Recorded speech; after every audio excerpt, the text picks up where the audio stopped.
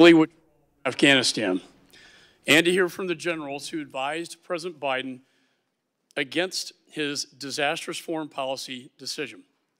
I now recognize myself for an opening statement. On April 14th, 2021, President Biden announced the United States would unilaterally withdraw its military forces from Afghanistan. For months before that announcement, the intelligence community and his senior military advisors, including both gentlemen testifying here today, issued dire warnings about the withdrawal's consequences. After the announcement, I, along with other Republican and Democrat members of Congress, urged the president to prepare for the withdrawal and its inevitable fallout. Unfortunately, those warnings were ignored.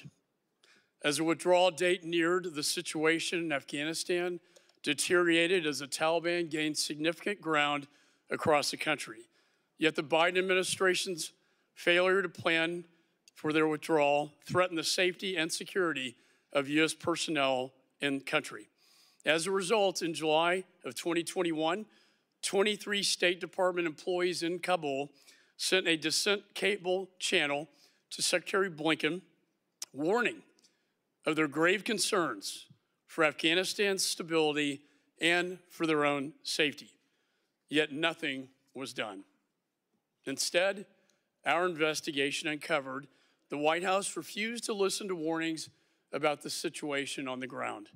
Disturbingly, we have uncovered that State Department leadership prohibited prohibited its employees from even uttering the word NEO, shorthand for emergency evacuation until as late as August of 2021.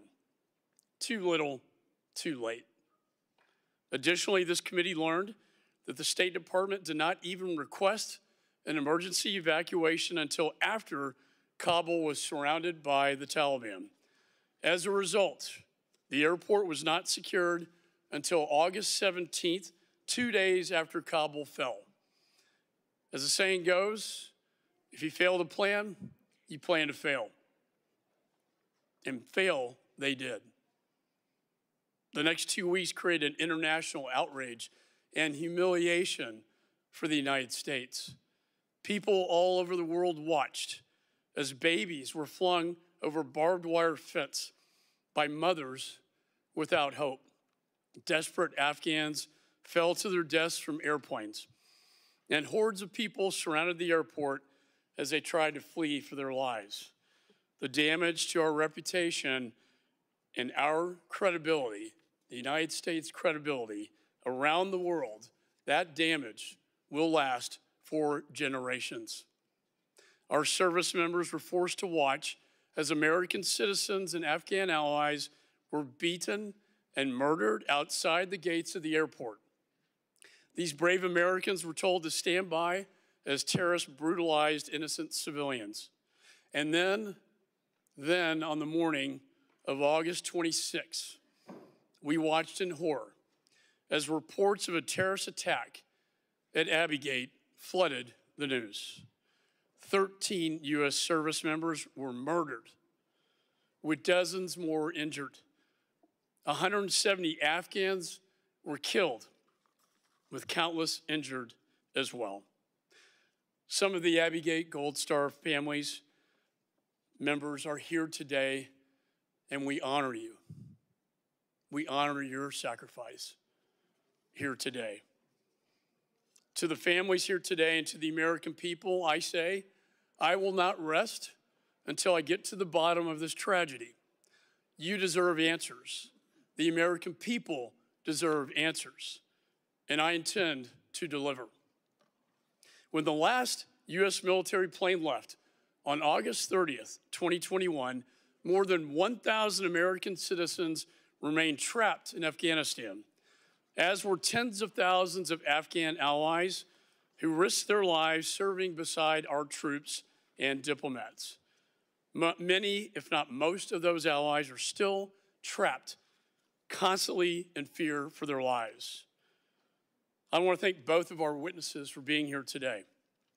Despite current DoD officials actively trying to limit your testimony, you have agreed to appear here voluntarily, and I'm grateful to you, both of you, sirs, for your service to our country and your service to this investigation. I also want to thank the Abbey Gate Gold Star families for joining us here today. And while the President has never publicly stated the names of your children, I will here today.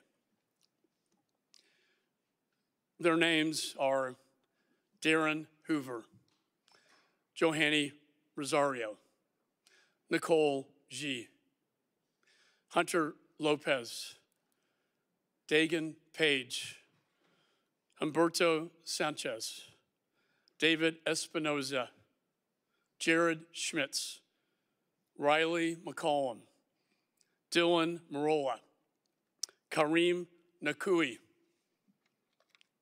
Maxton Soviak, and Ryan Knauss. Those are the names of the fallen. May God bless them. They will not be forgotten. And with that, uh, the chair now recognizes the ranking member. Thank you, Mr. Chairman. And let me start by thanking former Chairman of the Chief of Staffs, General Mark A. Milley, and former Commander of the United States Central Command, General Kenneth F. McKenzie, Jr., for testifying before this committee today and sharing, as you did before, the House Armed Services Committee in 2021, key military and policy insights on the United States withdrawal from Afghanistan. I also want to thank you both for the years of sacrifice and service to our great country and recognize the hundreds of thousands of American service members, diplomats, and development professionals that work to support the United States efforts in Afghanistan over the course of our presence in the country. I want to also recognize the 2,461 American military personnel who gave their life in Afghanistan for our country. And of course, that includes who my heart bleeds for, the 13 brave Americans who were killed in an ISIS terrorist attack while facilitating the evacuation of 124,000 people over the course of 17 days in August of 2021. And as I've previously said, President Biden's efforts to end the 20-year war in Afghanistan and bring our troops home was the right one.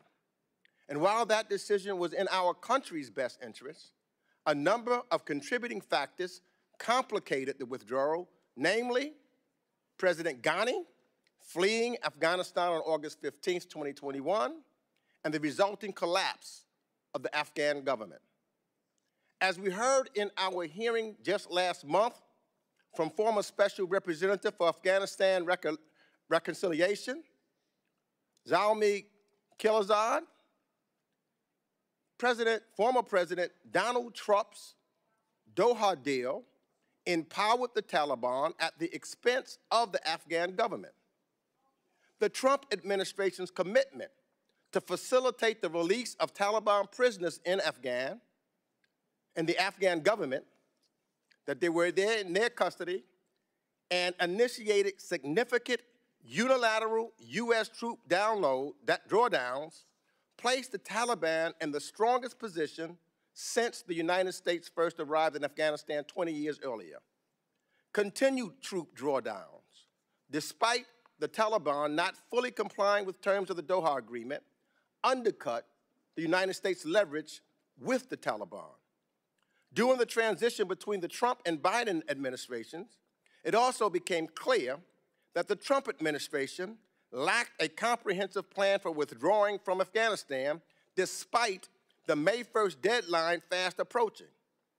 Upon taking office, President Biden conducted a thorough interagency review and determined he had two options. The president could either continue the withdrawal started by his predecessor or break the agreement and return us to an active war with the Taliban, a decision that would necessitate a significant surge of troops for an, an undefined time. The Taliban made clear that backing out of the Doha Agreement would result in the resumption of hostilities, which would place our service members once more in their crosshairs. Let me be clear. This is not my opinion on the timeline and facts. This is the picture painted by the Afghanistan After Review, After Action Report conducted by the State Department, which DOD has corroborated throughout its own internal reviews of the withdrawal. These are the facts outlined by this committee's own investigation, which has been comprised of over 100 hours of transcribed testimony, multiple public hearings, and 11,000 pages of documents produced by the State Department. And I also, again, like to reinforce the importance of broadening the scope of Afghanistan. Proper oversight of, of, of Afghanistan requires an honest look back, not just at a few months, but at the entire 20 years of war over four administrations. Generals Milley and McKenzie, so I look forward to your continued commitment to truth and transparency today, helping us gain a better understanding so we may learn from our successes and mistakes. And I want to commend the efforts of all who've contributed to the successful evacuation and airlift of 124,000 people from Afghanistan. We understand over the course of our interviews and investigations that this was an all hands on deck undertaking. And while I'm thankful such an airlift was successful given the dynamic and chaotic situation on the ground, we must also scrutinize the lessons learned, including from the tragic bombing at Abbey Gate.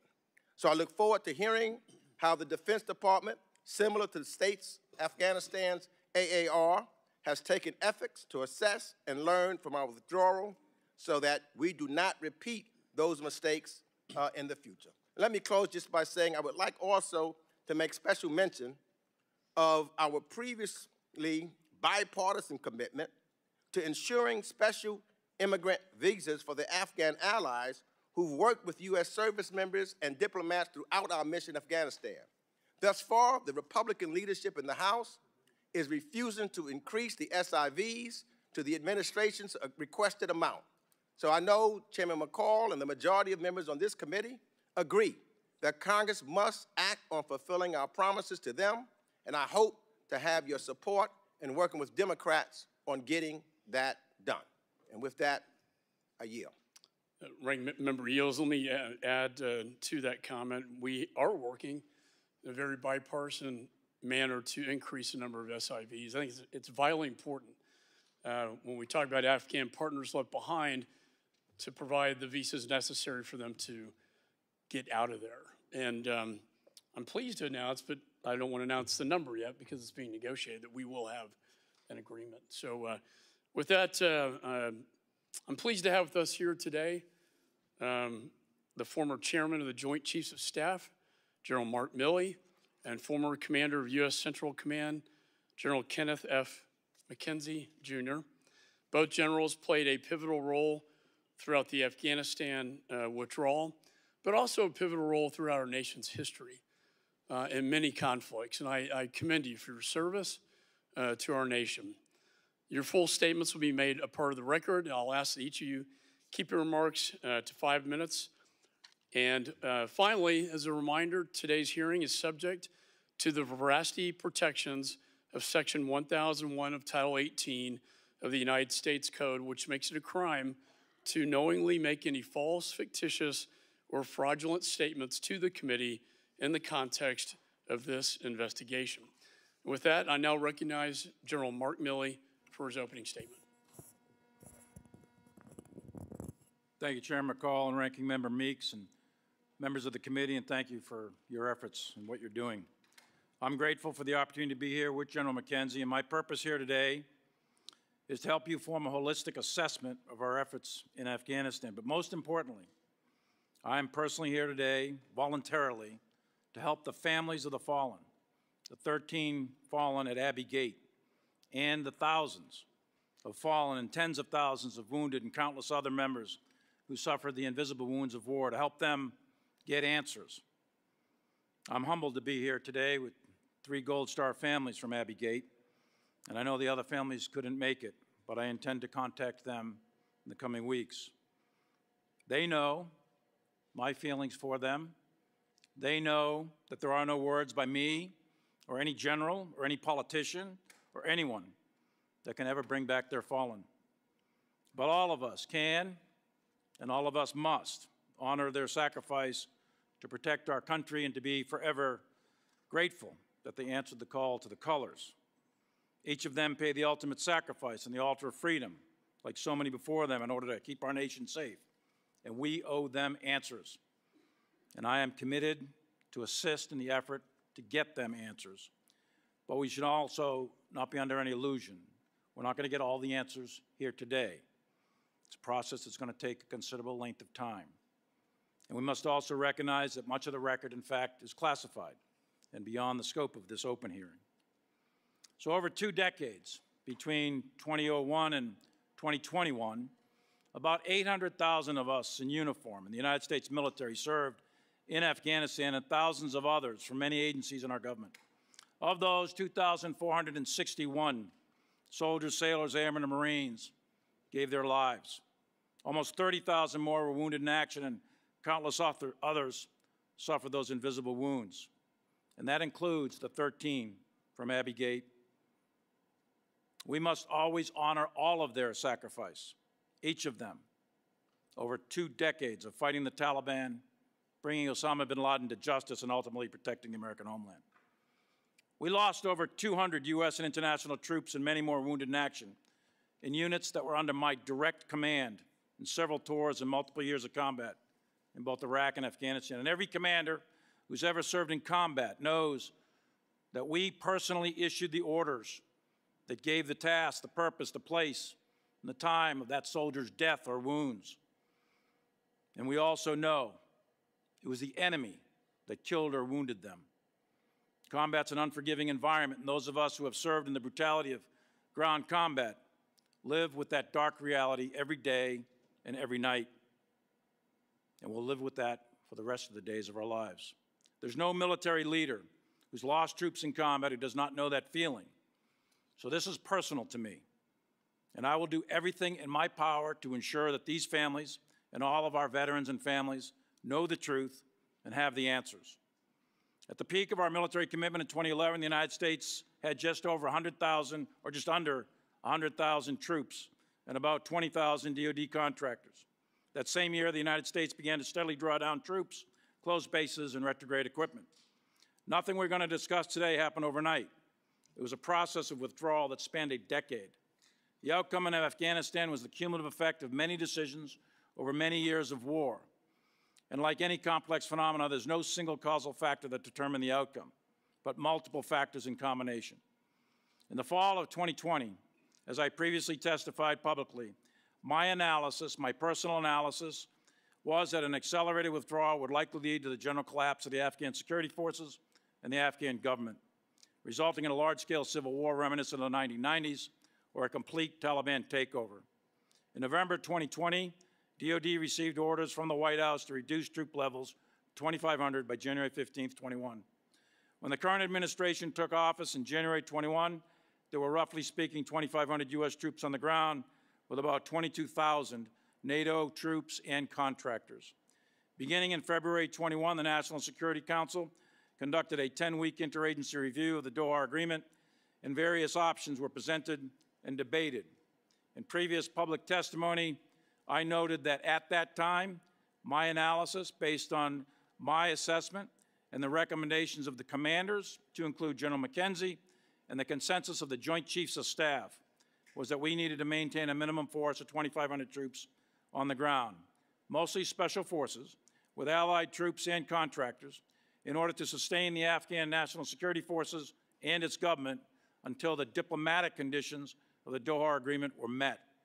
Without this support, it was my view at the time that it was only a matter of when, not if, the Afghan government would collapse and the Taliban would take control. Again, I previously publicly testified and I consistently supported a negotiated end to the war, but only if there was a reduction in violence leading to a permanent ceasefire, and there were Afghan-to-Afghan negotiations leading to a power-sharing agreement between the Afghan government and the Taliban, and it was my view that absent those conditions, I was not in favor of a unilateral withdrawal of U.S. forces because of my assessment of the associated costs and risks. The fundamental tension facing the president, in fact, two presidents, was that no one could satisfactorily explain when or even if those conditions would ever be met. And if we stayed indefinitely, then open war would likely begin with the Taliban again, with increased risk of additional casualties. On 14 April 21, President Biden made the formal announcement of his decision to honor the Doha Agreement with a military withdrawal while maintaining a continued diplomatic presence. The Department of Defense understood that our mission was to conduct a retrograde of the remaining U.S. military forces and equipment while leaving a small contingent to defend the American embassy while diplomatic outcomes were negotiated. On 14 August, the non combatant evacuation operation decision was made by the Department of State, and the U.S. military alerted, marshaled, mobilized, and rapidly deployed faster than any military in the world could ever do. It is my assessment that that decision came too late. The deploying forces quickly took operational control of the airport with significant elements of the 82nd Airborne Division, Marines, National Guard, and Special Forces, along with our CIA partners and selected NATO forces. Additionally, we set up multiple bases to process evacuees in other countries throughout the Middle East, Europe, and CONUS. In short, the United States military performed one of the most incredible evacuations under pressure in recorded history in an extremely difficult, dynamic, and dangerous environment. That performance is due to the individual bravery, competence, and compassion of every private to general who had any role in this NEO. At the end of 20 years, we, the military, helped build an army, a state, but we could not forge a nation. The enemy occupied Kabul, the overthrow of the government occurred, and the military we supported for two decades faded away. That is a strategic failure. But the military also provided hope for 20 years to the Afghan people. We provided unprecedented opportunity to millions. In the final days, we gave 130,000 people their lives and freedom at very high cost. And most importantly, we protected the United States from terrorist attack from Afghanistan, which was our original mission, and that mission continues today. There are many lessons to be learned from 20 years of war and the 10 year drawdown of forces and the final evacuation. And, Mr. Chairman, I have a lengthier paper uh, for a written testimony that I would like to submit for the record with your permission. Without objection, so ordered. To the American people, the most important lesson I think to learn is that your troops, the United States military, from private to general, did all that bravery and duty could ever do. Your military defended you successfully for 20 years and continues to do that. And for that, every American should be eternally grateful. To all the veterans of Afghanistan, hold your heads high, and I know there are several in the room today. Know that you did your duty. Each of you did what your country asked of you under extreme circumstances. Many of you, like Congressman Mast, lost limbs and were grievously wounded. And you did it selflessly with professionalism, courage, compassion, and with great sacrifice. And finally, to the Gold Star families that are here with us today and those that couldn't make it, there's nothing that I can say or do that's going to fill that gaping hole in your heart. But as I've told you before, I'm committed and I will honor that commitment to get you the answers, to get you to the truth. And I will personally, and I know everyone else will as well, honor your sacrifice and the sacrifice of your loved one. Thank you, Mr. Chairman. I look forward to your questions. Thank you, General Milley. I now recognize General McKenzie for his opening statement. Chairman, thank you, and I'd like to ask that this opening Uh, statement Microphone, Got it. I'd like to ask that this opening statement be submitted for the record. without objection, so ordered. Chairman McCaul, Ranking Member Meeks, distinguished members of the House Foreign Affairs Committee, I'm here to voluntarily testify today about the military component of our withdrawal from Afghanistan. Before I begin, I'd like to recognize the Gold Star families that are here today. I hope that what we discuss today will reduce their pain. I, like General Milley, I am humbled to be in their presence here today. As you are aware, in September 2021, I provided over 10 hours of open and closed testimony on this subject to the two congressional committees charged with oversight of military operations, the House Armed Services Committee and the Senate Armed Services Committee. Much of my testimony will be of necess, will of necessity mirror that earlier transcribed testimony. As a theater commander, I will confine my opening remarks to those matters that were under my direct operational control, specifically the withdrawal of U.S. military forces and the subsequent non-combatant evacuation operation, or NEO. These were two distinct and separate operations. We had detailed, constantly updated plans for each of them. We executed both of those plans, although separated in time. And thanks to the valor and dedication of thousands of men and women in harm's way, we completed both missions, but not without loss of life. We honor the 13 brave Americans who died at Abbey Gate, joining the uh, over 2,400 other service members who lost their lives in this 20-year campaign. Their sacrifice stands with those of our coalition partners and, of course, the Afghans who fought beside us for so many years. I briefed President Trump on a plan to completely depart Afghanistan on 3 June 2020. This plan envisioned the complete withdrawal of all our forces and our diplomats and citizens. It also contemplated the possible withdrawal of Afghans who had served with us. The plan had a number of options, but it was the framework for everything that followed. Ultimately, President Trump selected a branch of the plan that maintained 2,500 U.S. military personnel in Afghanistan by Inauguration Day in January 2021. We had branches to that plan to complete a withdrawal by May of 2021 had we been so ordered. On 11 April 2021, I received orders from President Biden through the Secretary of Defense to execute a full military withdrawal by 11 September 2021, a date which was subsequently modified to the end of August. This decision did not include the withdrawal of our embassy, our citizens, and at-risk Afghans. It's important to understand that we had a complete plan to execute that task as well, but were not ordered to do so. The President's decision was to maintain an embassy, to not require our citizens to leave, and of course, to not expedite the extraction of at-risk Afghans. This was not a military decision. We substantially accomplished the military withdrawal by 12 July 2021, when I relieved General Scott Miller as the commander of U.S. forces in Afghanistan. My orders then were to retain a military platform of 650 personnel solely designed to provide security for the U.S. Embassy and Karzai International Airport. During this period, and with minimal to no support from us, the Afghan security forces, and more importantly, the government of Afghanistan, crumbled in the face of Taliban pressure. Orders to commence the non-combatant evacuation operation, bringing out our embassy, our citizens, and at-risk Afghans, were received on 14 August. These dates are important because I believe that the events of mid and late August 2021 were the direct result of delaying the initiation of the NEO for several months. In fact, until we were in extremis and the Taliban had overrun the country. As you are aware, the decision to begin a NEO rests with the Department of State, not the Department of Defense.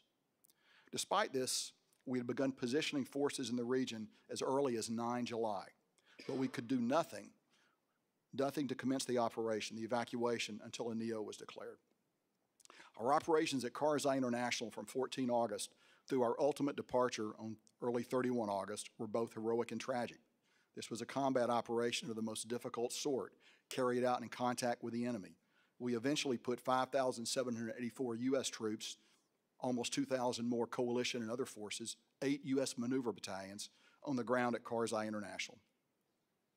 I'd like to talk a little bit now about Abbey Gate. It was a tragic event, one of many that have occurred over our 20-year engagement in Afghanistan.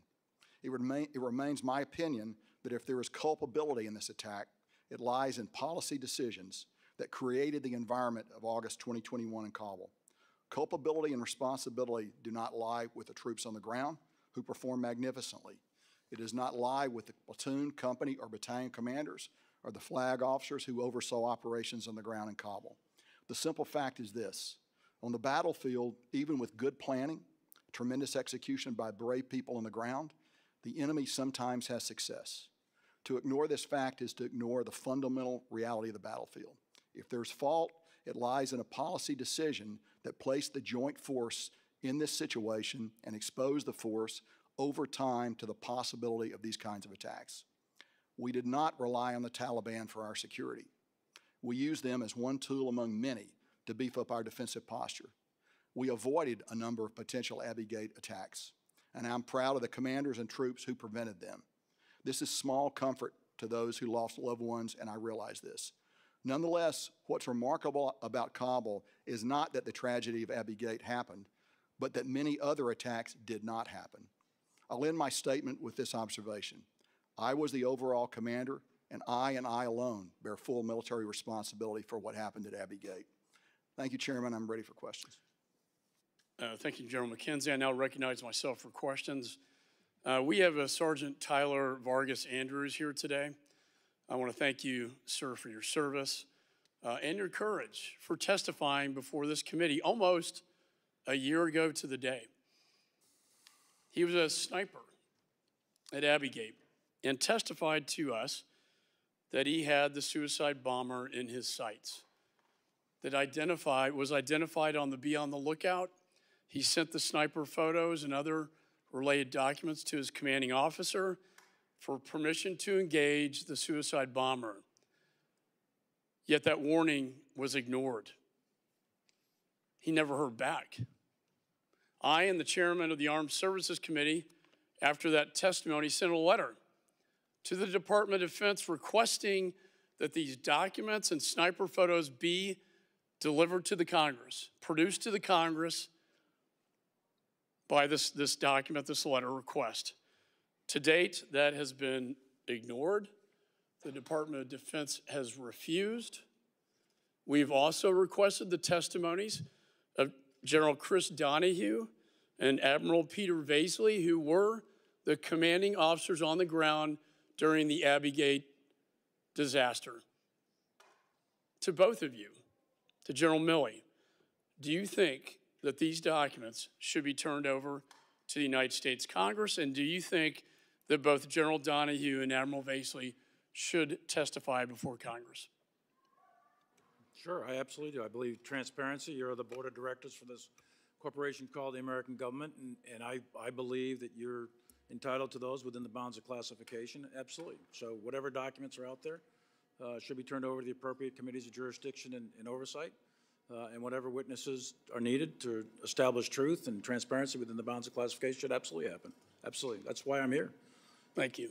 Uh, Chairman, I agree, I agree with General Milley, uh, and I associate myself with his remarks. So also on accountability, I've asked the State Department uh, officials who was responsible for the catastrophic emergency evacuation. Not surprisingly, they point their fingers at the Department of Defense. But I want to set the record straight. While the DoD helps conduct the emergency evacuation, it's a State Department that is responsible under law for developing the plan and leading the evacuation. Is that your understanding?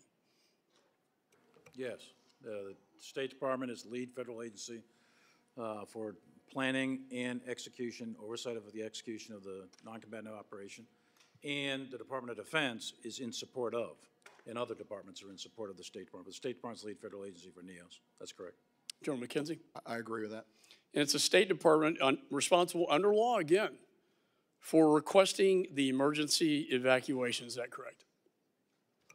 That is correct, and, and I think actually, I think that's done at the ambassadorial level, to tell you the truth.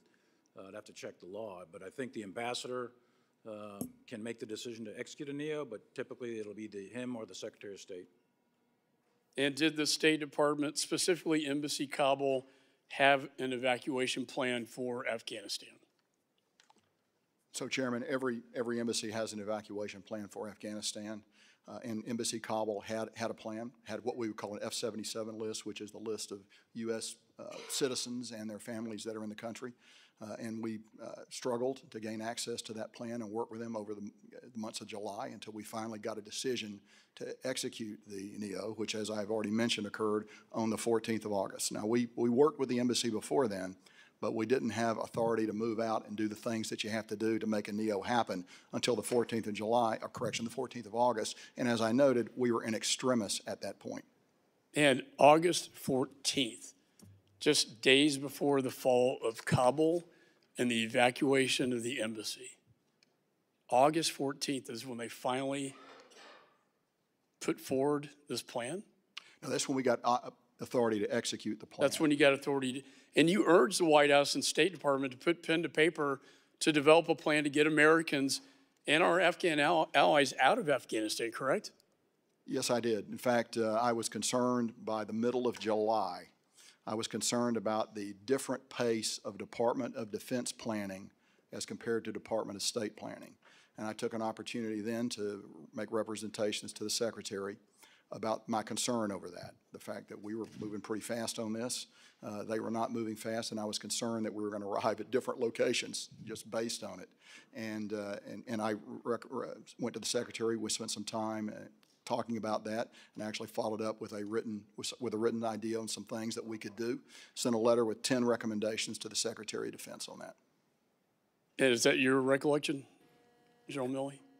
Absolutely. The, um, you know, without breaching things like executive privilege, uh, et cetera, my assessments at the time, and Frank McKenzie submitted assessments, Scott Miller submitted assessments, the general consensus of the military, up through and including the Secretary of Defense, uh, was that the embassy should be coming out, uh, roughly speaking, at the same time we should be coming out. And then after the decisions were made to keep a diplomatic presence there, as the uh, situation deteriorated through the summer and the fall of the provincial capitals, et cetera, uh, we were clearly pressing for early calls to execute a NEO.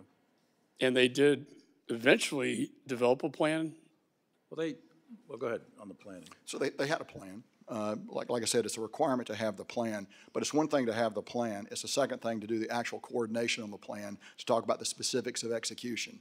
So having a plan is one thing, preparing the plan, vetting the plan, coordinating the plan with the people that are going to actually carry you out, the Department of Defense, that's another set of tasks completely. And, and that was too little, too late.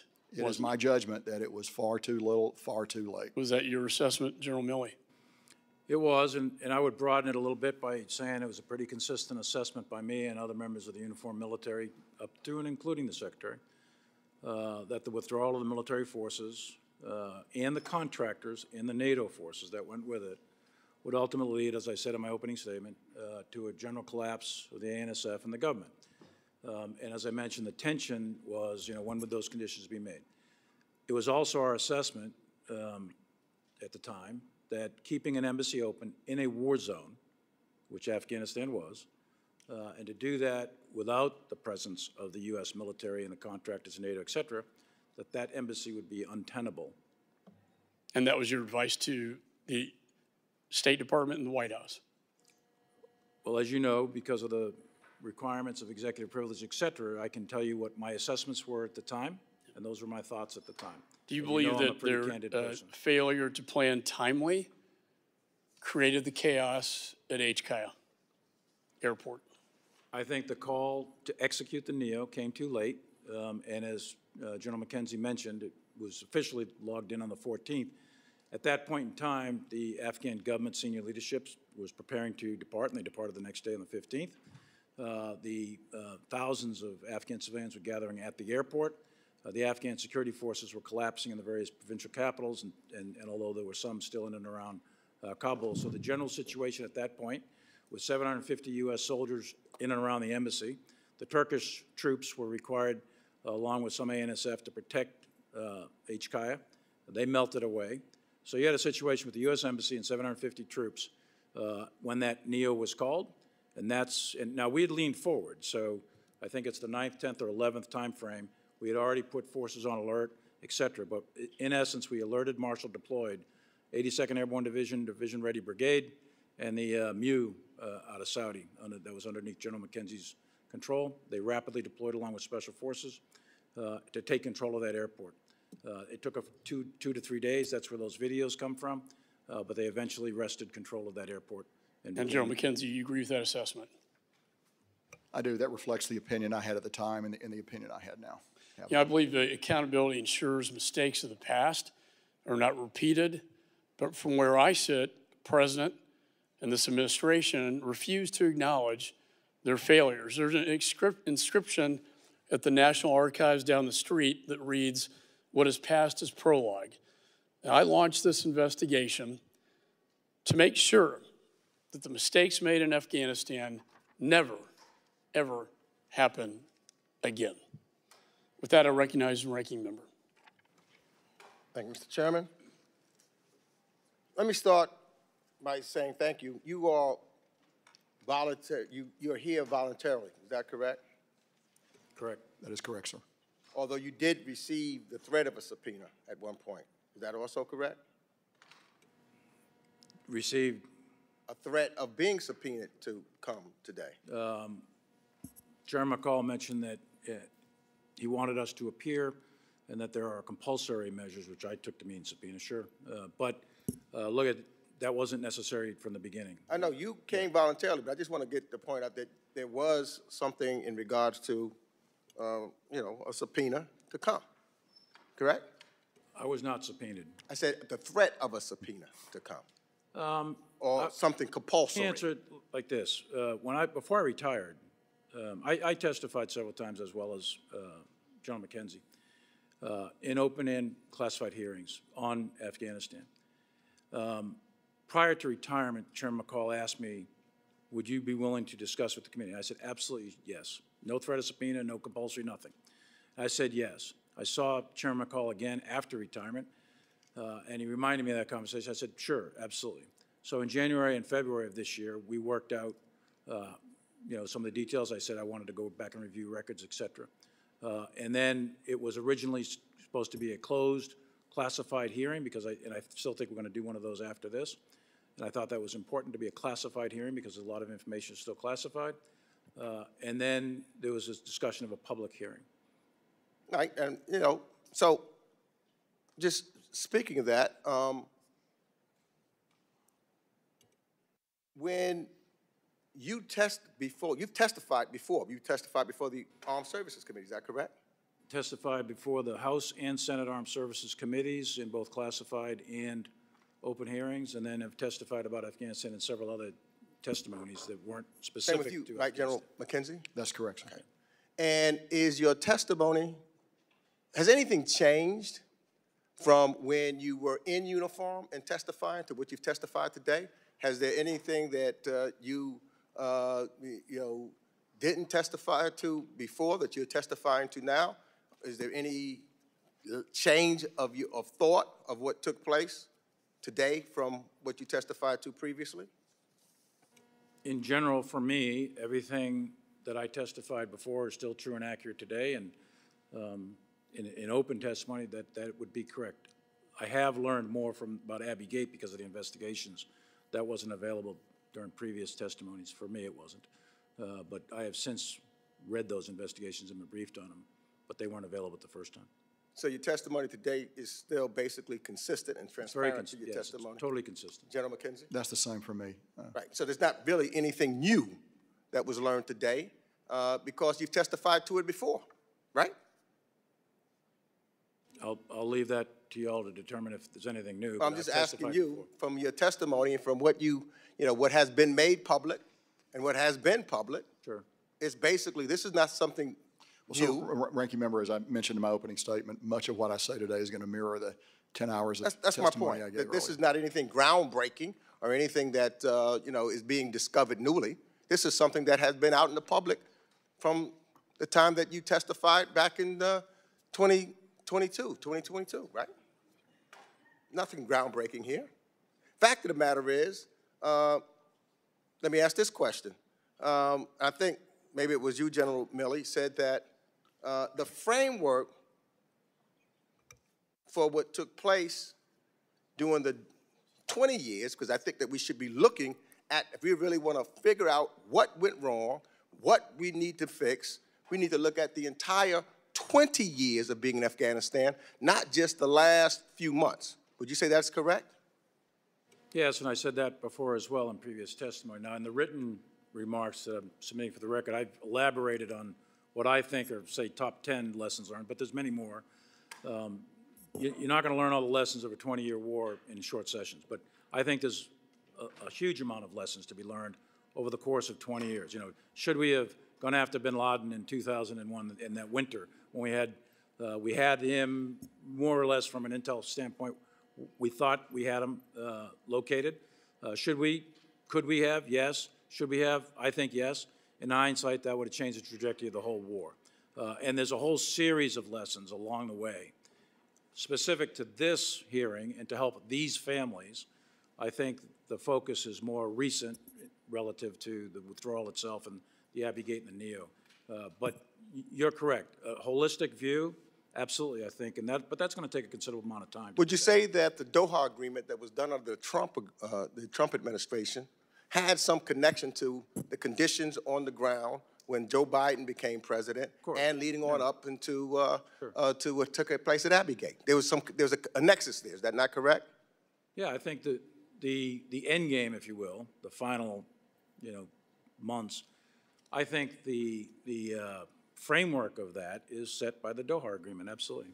So if we're going to study to find out the findings of what we should do, we should be talking about what happened during the Trump administration as well as what took place during the Biden administration because they are connected. They're not separate. And so if we're serious about trying to figure out what took place and why it took place, we should be looking at both what took place under the Bush administration, the Obama administration, the Trump administration, and is that not correct? Sure, I, I, as you point out, four presidents, I think there's half a dozen secretaries of defense, half a dozen secretaries of state, there's half a dozen chairmen of joint chiefs of staff, there's another four commanders in Afghanistan. So yes, th- there's absolutely lessons to be learned through all of this. And the, end game, using the Doha agreement, if you wanted to say that was the start point, uh, sure, there's, there's a lot to be said about that as well. And there is a continuum. As I mentioned in my opening statement, there's no phenomenon but like my- the end of a war My point is, is this. If we're taking a serious look at this, you can't just take a peek at one little segment of it and say, this is the reason everything happened without looking at what preceded it, because you'd have to look at it in its entirety. Isn't that correct? If you're serious about trying to figure out how we're going to make sure the mistakes that may have made and the things that we did right, you can only do that in a serious investigation if you take all of it and you look at all of it and you examine all of it, not just piecemealing that. Would you agree with that? Of course. I mean, I, I said that in the opening statement. I said in previous testimony that a holistic look at the whole war in order to really determine outcomes, et cetera. And anything as complex as a war uh, is not the result of a single causal factor. There's multiple factors and multiple decisions. So yes, in general, I agree. But I'm here for these families to try to get them answers uh, and to try to get answers on the immediate issues that are at hand. So I know, I mean, I know, so the chairman went, so I just want to do the same amount of time that he had. I don't want to get cut off there. Um, um, So let me, let me ask this. With the conclusion of the Doha deal, the Taliban stopped attacking U.S. forces inside Afghanistan. Is that correct? They, well, yes, lethal attacks. They weren't, they committed to not doing that. There were some attacks, but they committed to not conducting lethal attacks. And by my memory, I don't think there was a lethal attack on U.S. forces. uh, So let me ask this, because we're running out of time. I know, I saw the chairman finished about with five minutes there. So, and the United, when the United States committed to the Doha deal, that was to withdraw, and I quote, withdraw from Afghanistan all military forces of the United States, its allies, coalition partners, including all non-diplomatic civilian personnel, private security contractors, trainers, advisors, and supporting service personnel. Is that correct? That was the Doha deal done under the Trump administration. Is that correct? As I recall, I think there was seven conditions that the United States signed up to and eight conditions that the Taliban signed up to. And I think you rattled off most of the key ones. It was a very explicit thing. It said you had to go from the, the there were 13,000 more or less, 13,000 U.S. troops uh, when Doha was signed, and then it was you had to go to 8,600 in 135 days. Let, let- let me just do this. This, I want to make sure. And so therefore, the withdrawal was well underway in January 2021 after President Trump withdrew U.S. forces, notwithstanding concerns about the Taliban's behavior. Is that correct? The withdrawal was absolutely underway. The drawdown of forces was underway, that's correct. So I don't have time, but I would like, you know, because I would like to do a complete investigation. That is what I think that our committee is, has the responsibility, so that we can really be transparent with the American people on everything that took place in the 20 years in Afghanistan. Not just one piece, but everything, if we are serious and not playing politics with this issue. Yield time has expired. I will say the Afghanistan Commission has been commissioned to look at the last 20 years. The purpose of this investigation is to examine the evacuation. I will hold the members accountable at five minutes under the rules discipline so we, that we can get to every member on this committee who deserves to be heard. And we thank you for showing up. And with that, I recognize Mr. Smith. Thank you, Mr. Chairman. Thank you for calling this important hearing. Thank you to the two generals for your distinguished service to our country. Thank you so very much for that. You know, uh, General uh, Milley, you, you mentioned how you had suggested a minimum of 2,500 troops to remain. Uh, who rejected your advice? Was it the president? Uh, you, did you ever get a written or oral uh, uh, feedback as to why they rejected that advice?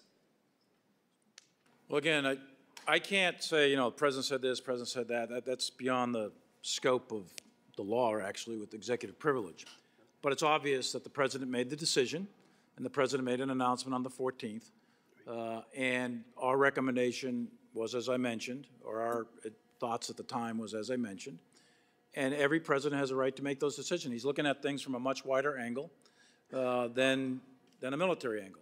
Our military assessment was keep 2,500, and with them, it's not just 2,500, it's 2,500 plus the NATO plus the contractors. Right. And the contractors are key here. Um, and then that, we thought, our assessment was, that would keep the Afghan government, the military, stable until such time as a diplomatic outcome could occur uh, in accordance with the conditions set in the Doha Agreement. In retrospect, would that have made the difference?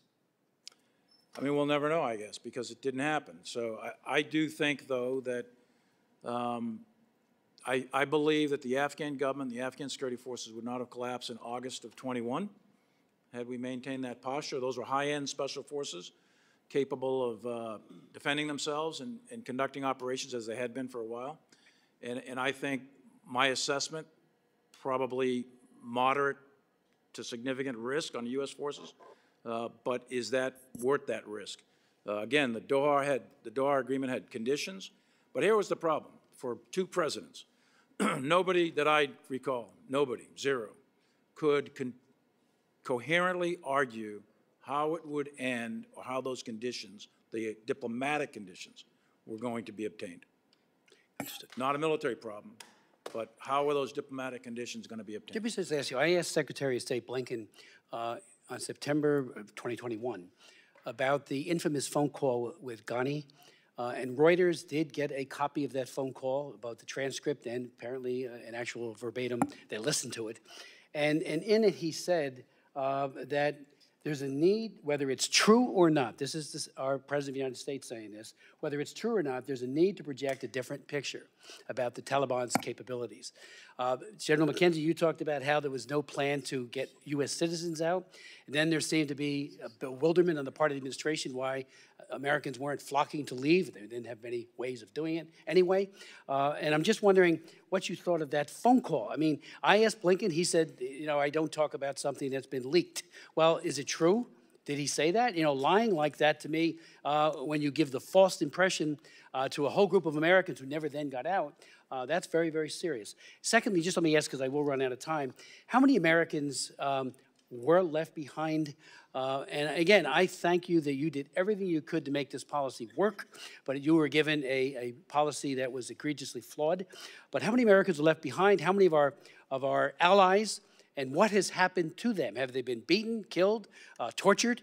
And secondly, about all the weapons that were left behind, uh, there are reports that some of it has found its way to Hamas. I don't know if that's true.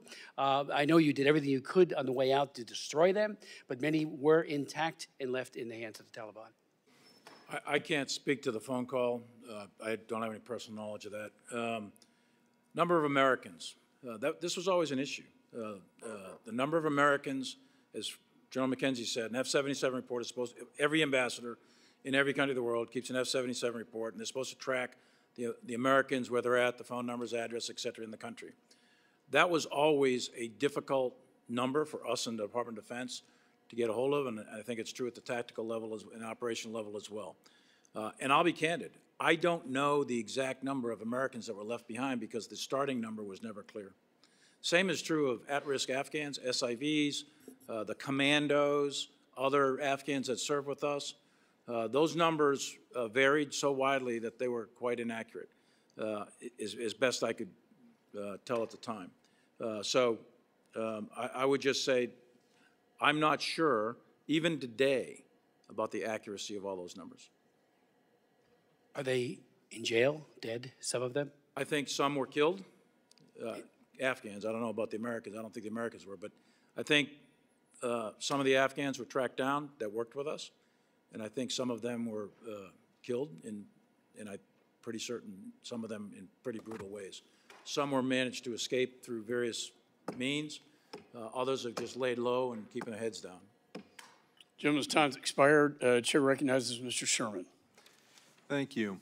Mr. Chairman, I wish we were having a hearing with these excellent witnesses on what's on people's minds, uh, which is what's going on in Gaza, where we could discuss the incredible difficulties of urban warfare and how the top expert on urban warfare at uh, West Point has said that Israel has done a at least as good a job as any other military in minimizing civilian casualties given the incredible difficulties of urban warfare. Instead, we have what appears a highly politicized hearing trying to blame uh, Biden. And this hearing began with the title Biden's Strategic Failure. I, it's my understanding that our witnesses refused to testify with that title. Uh, in any case, they should have. We've now retitled the hearing, but we haven't repurposed it. It re continues to be politicized. But a highly partisan hearing shouldn't be held if you're in the party that made most of the mistakes. Uh, let us, we had, uh, let's put this in context. We had uh, a real dispute as to whether we should leave 2,500 or so American uh, servicemen there for perhaps this decade and the following decade. Uh, the dissent cable argued for that. A lot of the foreign policy establishment argued for that. But Trump promised the American people every single American soldier would be out. And from that point, we had no bargaining position. That's why uh, uh, the uh, chief negotiator, uh, said that it was well known by 2018, by the end of 2018, that we are hell bent to get every uh, person out. And so, what kind of agreement did we enter into in Doha? Supposedly by the best negotiator in the world, then President Trump. It is an agreement that says it's okay for the Taliban to treat 12 year old girls like sex slaves. No provision prohibits that. Nothing prohibits the Taliban from killing people because they're part of the LGBT community. Nothing prohibits them from killing someone because they convert from Islam to Christianity. All they're required to do is talk to the Afghan government. They talked, perhaps, and then they assumed total power. And we could do nothing about it because we had promised the American people that absolutely every soldier would be out. And of course, right before the election, Trump promised to have them all back by Christmas of 2020. Uh, uh, um, the Trump administration lost 59 of our servicemen, 152 of our contractors, accomplishing absolutely nothing. We surrendered in 2020. We could have surrendered in 2017. Uh, but perhaps uh, the most extreme partisanship has arisen when so many members of this committee have attacked President Biden supposedly for not bringing back the quote 85 billion, I think it's closer to 8 billion dollars of equipment that we left behind. Now, this equipment was in the hands of Afghans who had uh, plenty of use for it. They could keep it for their own defense, they could sell it to the Taliban. They did not choose to bring it back to us and return it. Um, so I'll ask uh, uh, uh General Milley, uh, had we, was there a way for us to go all around Afghanistan and demand the return of our equipment this is assuming, I, I realize that at the time we hoped that the Afghan armed forces would use that to resist the Taliban. But if we had realized that they were going to cave immediately, could we have taken that equipment away from all these Afghans with no casualties? No, of course not. So, so we would have incurred very substantial casualties if we had done what so many on the other side of the aisle have uh, suggested, and that somehow get back our equipment. Now, how does our um, withdrawal from Afghanistan compare to our withdrawal uh, from, uh, well, actually, I have another question. Biden came in in uh, January 2021. Was there a comprehensive plan at that time to both withdraw absolutely every one of our servicemen, because that was the promise Trump had made to the American people, while uh, withdrawing in an organized way with no American casualties? Was there a complete plan ready to go at that time? So, two points, if I go back to the equipment just very quickly. Um, As I recall, and I think it's laid out in the SIGAR's report, the special uh, IG for Afghanistan, it's about uh, 80 some odd billion dollars worth of military aid total. That's everything from food and building barracks and uniforms and boots to include equipment uh, over 20 years. And then he cites, I think it's 7.2 billion of military equipment, U.S. manufactured military equipment that is with the Afghan security forces. That's Afghan-owned equipment, not American equipment. Every piece of American equipment that the American military owned came out with us with Scott Miller, or he destroyed it on site. And that's a fact. So uh, the idea that the American So this, military- this attack on Biden for not The, uh, taking the gentleman's time equipment back is- expired. is Uh, total Chair bunk. recognizes Mr. Wilson, South Carolina. Thank you, Mr. Chairman, and I ask for unanimous consent to submit two reports from the George W. Bush Institute of February 2024, The Captured State on Human Cost and on uh, Corruption. Objection so ordered. Thank you, Mr. Chairman. And indeed, generals, we, we appreciate your service, and, uh, but we just have to learn from uh, what's occurred, the appeasement uh, in Afghanistan. The Biden decision to appease is the worst foreign policy national security decision, I believe, in the history of the United States. It led directly to the encouragement of dictators who are ruling by gun to invade the democracies of rule of law. We saw that on February 22, 2022, when war criminal Putin invaded Ukraine. We saw that on October 7, 2023, when the regime in Tehran, through their puppets of Hamas, invaded uh, Israel. We see it today as the world's largest military buildup is being conducted by the Chinese Communist Party to threaten Taiwan. The global war on terrorism continues, and indeed, with open borders, the American families have never been at greater risk of attack. And I especially appreciate uh, the military families who are here today. Uh, as a 31-year veteran of the 218th Infantry Brigade, I visited four times with our personnel, uh, with the Adjutant General Bob Livingston, our troops serving in Afghanistan, and I saw them serve with their Afghan brothers, just as you, just as you did. And due to encouragement by my wife, I'm particularly grateful my oldest son, Alan, received a CAB in uh, Iraq. My second son, a doctor at Baghdad International Airport. My third uh, served at the southern border and also served in uh, Egypt. And my youngest son served uh, under your command a year uh, in Afghanistan. And to me, uh, the Biden decision uh, that led to the 13 deaths of the persons at Abbey Gate, the service members, is just inexcusable. And I actually felt assured, generals, knowing that your competence and capability, particularly a Citadel graduate, uh, but I am very concerned that uh, you were blamed on uh, August the 26th, 2021, by Mr. Biden. He specifically said that the 13 murder, the uh, withdrawal of uh, forces, was uh, a decision as determined by the military, and he said he had letters that indicated that um, you had said that there should be a, a, an immediate appeasement.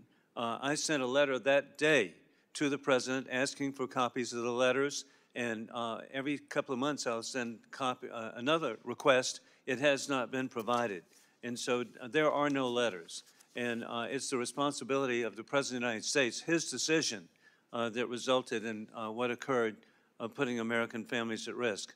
With that, and indeed the Doha Agreement, each of you, was there uh, a violation? It was conditions-based, and weren't, uh, were there violations by uh, the Taliban of the agreement? I'll let John McKenzie give the specifics, but yes, the Taliban violated every condition of the agreement except lethal attacks on U.S. forces from the time they signed the agreement all the way to the end. Uh, So, uh, yes, they were in violation. They, they didn't renounce al-Qaeda, uh, they didn't do Afghan-to-Afghan negotiations, Uh, They didn't, uh, there's a whole series of conditions in the Doha Agreement that they didn't do. No, that's correct. Every, every, every condition except the, the one, the one narrow condition about attacks on U.S. and coalition forces. Uh, And in particular, actually, they stepped up intensely attacks on Afghan forces during this period because we had agreed to actually withdraw substantive air combat support from the Afghan military during this period of time, and they took advantage of that opportunity. And, and I appreciate that uh, President Donald Trump has indicated it was conditions-based. The conditions were violated, uh, and that would have led uh, to his view of maintaining the uh, Bagram base. What is your position? So my, my position on Bagram was, it linked to my recommendation, my position then and now, that we should have held at 2,500. At 2,500 U.S. forces, if you also assume that will allow the Afghans to stay in the fight, you can maintain a viable base at Bagram. And, I and consider indeed, Bagram would be critical. protecting American families. And hey, as we conclude, uh, we still have a president making bad decisions, and that is that we had seven weeks ago, uh, three young Americans were killed, uh, Army reservists from Georgia. And this was a decision of the President, Mr. Biden, who did not follow through on trying to stop these attacks on our troops uh, by the puppets of uh, Iran. And uh, we've lost three service members, over 40 injured. And the president needs to take this seriously. We're in a conflict for as existential of our country. Thank you. Uh, Gentleman yields. Uh, Chair recognizes Mr. Crow. Thank you, Chairman. Uh, Thank you, Chairman Milley and General McKenzie, for your service then and for coming voluntarily to testify and provide really important information to the committee and to the Gold Star families. And I join you in extending my condolences to the Gold Star families for um, making the ultimate sacrifice, uh, a debt that certainly we can never repay. Uh, But we are trying the best to get answers for you. And we I also want to extend my condolences to the over 2,400 other Gold Star families who weren't able to join us here today, whose families also made the ultimate sacrifice over the 20 years of this war. Uh, my criticisms of the withdrawal, the missteps and the problems are well documented. There were certainly issues that, that have to be addressed, and I've been very clear about that, and I've, I've endeavored to get answers with my colleagues. Uh, but I also want to provide some really important context, and that is ending wars is never easy and ending wars is never clean. And in fact, as you all know better than me, retrograde operations, withdrawal operations are some of the hardest uh, and most dangerous things that we ask our military to do. So I want to provide some of that context. Uh, Chairman Milley, you said in your opening that um, the Doha agreement that President Trump and his administration, administration entered into with the Taliban required the, the complete withdrawal of U.S. forces and diplomatic. Uh, that was the agreement that, that the Trump administration entered into. You said that uh, had we not complied with that agreement, that there would be, quote, open war with the Taliban, right? That they had uh, kept their agreement not to attack U.S. forces, which allowed us to withdraw and, and reduce our footprint. Um, so here today, had we not withdrawn and not ended the war, would be, we be at open war with the Taliban? I think the probability is uh, greater than not that the Taliban would have reinitiated combat operations on 1 May or 2 May. The Doha Agreement says all force out by 1 May. The uh, current administration, the State Department negotiated with the Taliban to get that extended, Zal Khalilzad did, to get that extended until uh, September, I guess it was, uh, to buy some additional time. But there's little question in my mind that had uh, the United States, that either president's agreement to withdraw, if we didn't withdraw 100%, then uh, we would have been back at war with the Taliban. That's right. General McKenzie. I, I generally agree with uh, what, what General Milley said, but when we always thought about staying, keeping 2,500 beyond, we thought it needed to be needed to be coupled with an aggressive negotiation program with the Taliban, one that was perhaps had a few more sticks and not all carrots. So I think you needed to change your approach to negotiation if you decided to stay. You're, we'll never know. You'll never know. I, th- I think I agree with General Milley. It's very possible that we could have been fighting the Taliban, but it's just that's just a counterfactual that, that we won't know the answer to. Okay, thank you. On the issue of a NEO, I actually uh, was one of those voices that, that joined you and called for an earlier NEO. And that was something that I thought would have been better uh, and, and could have uh, uh led to a smoother evacuation, but not a, not a perfectly clean one, because NEOs are hard. And one thing I want to talk about is this issue of um, who we evacuate, right? You talked about getting uh, counts on U.S. citizens, but the simple fact of the matter is the United States nowhere ever requires its citizens to register with the State Department. So in no instance do we ever fully know what Americans are on the ground in any situation. Is that correct? I think that's 100% correct, and you'll see it playing out today in Haiti. You saw it in the Sudan. You saw it in Ukraine. You saw it in many other places. Um, very, very difficult. It's a voluntary thing. People are encouraged to register with the embassy, but I don't know of any compulsory requirement to do that. And also, when we evacuate American citizens uh, in Afghanistan, many of those were in fact dual citizens. Is that accurate, General McKenzie? That's correct, yes. Uh, and, and many of those folks actually had non-American citizen family members. Is that right? That is correct. So many of them, not until the last moment, wanted to evacuate until they knew that there was a crisis because they didn't want to leave their family. Is that accurate? I think you are absolutely correct. So even, even if we had started a NEO earlier, that doesn't mean at the end of the day there wouldn't have been a, a rush and a crisis as the Afghan government and security forces collapsed because people finally realizes, realized they needed to get out. That, that probably wouldn't have changed even if we had started the NEO earlier. Hard to know, but that's certainly a possibility. Last piece is uh, the part of the story that is not yet written, and that is our partners, our friends, our Afghan allies who are still there. Um, we have an obligation uh, uh, uh to get them out. Uh, there's a bill called the Afghan Allies Protection Act, a bipartisan bill. I'm going to thank uh, Mr. Baird over here, who's a co-sponsor of that. And I would encourage all my colleagues who are here, who are not yet co-sponsors of that bill, to sign on, because we can still do right uh, and save lives by passing this bill and providing a pathway for our friends to get out. With that, I yield back. Yields. Uh, Chair recognizes Mr. Perry from Pennsylvania. Thank you, Mr. Chairman. Gentlemen, thank you for your service. Uh, we honor the Gold Star families and the service members here today. General Milley, um, General McKenzie, was the ROE, was the re, rule, were the rules of engagement at the time of the Abbey Gate incident sufficient for service members like Tyler Vargas to protect themselves? So it's my judgment they were, and we went in with what we call the standard Chairman Joint Chiefs of Staff ROE with supplements for Afghanistan. There's three, three main components to it. First of all, the inherent right of self-defense. A U.S. service member anywhere in the world at any time has the right to defend him or herself against a threat. It does not have to be an action that you're defending against. It can be intent interpreted.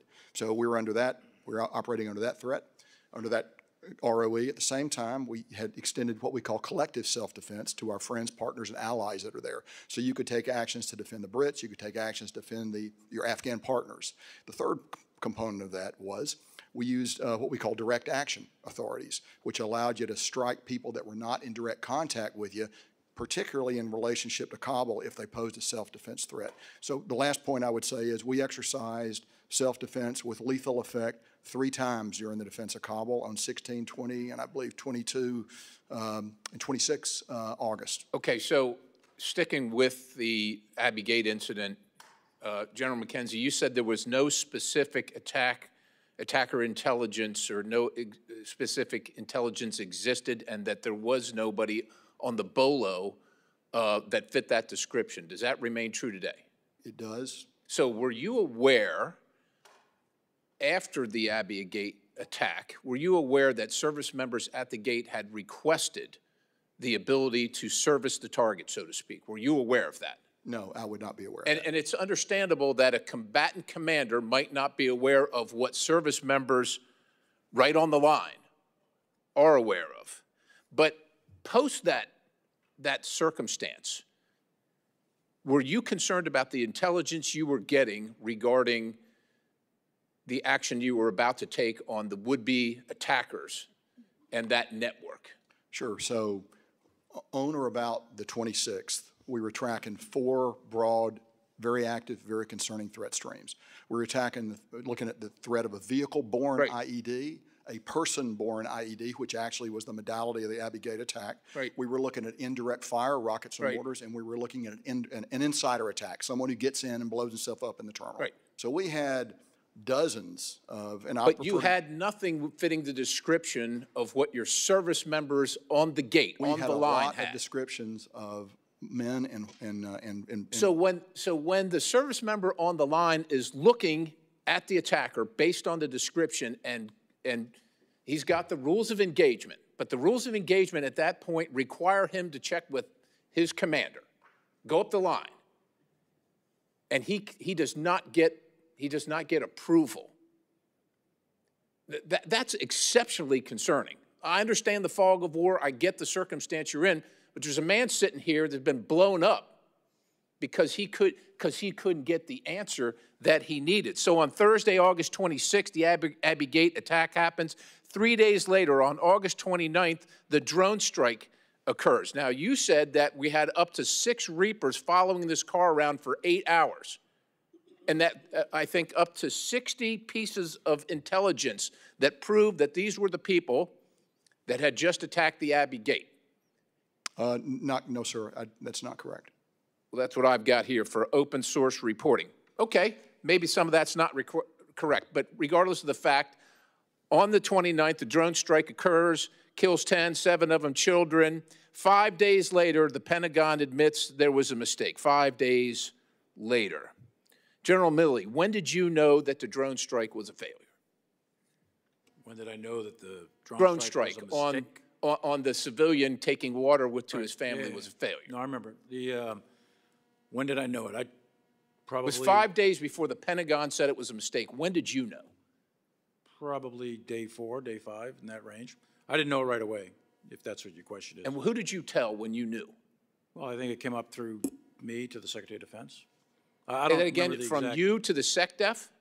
Well, it would have come from General McKenzie would have called me. I don't remember these specifics, but General McKenzie would have called me and said, we have an incident that. was Does mistake." anybody else in the, in the Biden administration know at that point that it's a failure?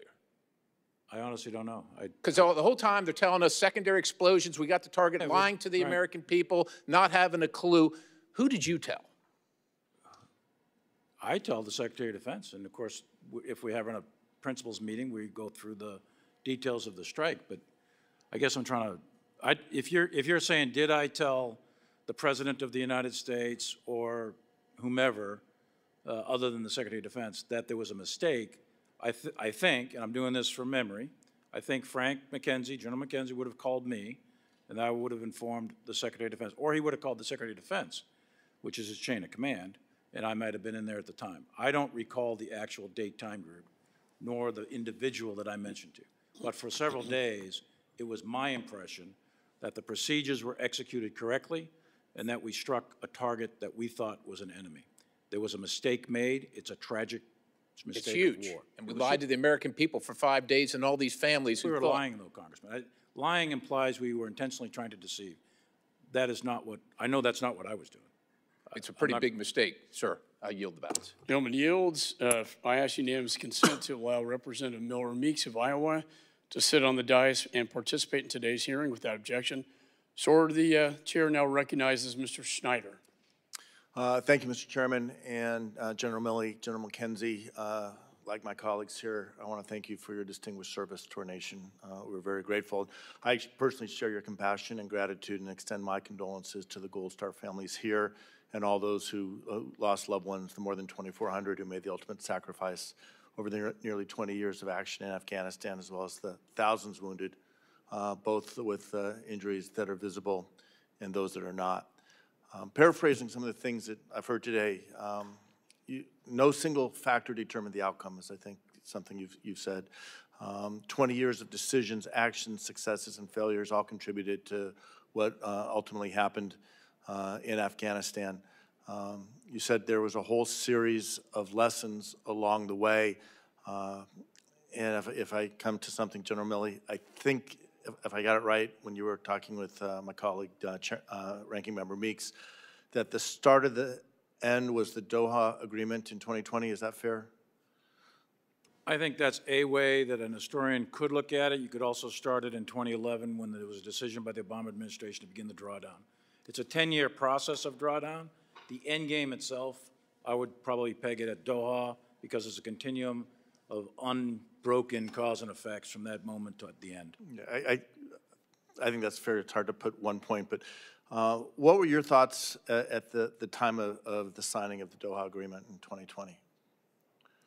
Well, uh, the military was not consulted on the Doha agreement, nor would I necessarily expect to be, but Uh, That was a State Department operation that was done under Secretary of State Pompeo with Zal Khalilzad as the ambassador to do the negotiations. I was not consulted. It was an 18-month process, so it actually begins before I became the chairman. It begins under General Dunford. Uh, So that process goes on. I don't think, I don't know what General Dunford knew, but I don't think he knew much about it. We knew there was a negotiation going on, the specifics of which we were not, didn't know the terms of the negotiation. I found out about that from Secretary Esper uh, after the fact, uh, and, um, and then it was then, and then a week or two later, we found the, uh, we were given the classified annex uh, to the Doha Agreement. Um, But no, we didn't participate in the development of the terms nor the negotiations. And when the decision was made to draw down to 2,500 uh, troops by, uh, I think you said inauguration day, uh, did you see that as something that was sustainable, get to the ultimate goal, or did that put uh, U.S. forces at undue risk? We, my assessment at the time uh, was that 2,500 troop, U.S. troops, and again, these are high-end Special Forces troops, uh, 2,500 U.S. troops with the contractors with NATO was the min force necessary in order to buy the time to ensure the conditions were going to get met and result in a negoti- satisfactory negotiated settlement uh, with the, with the government of Afghanistan and the Taliban.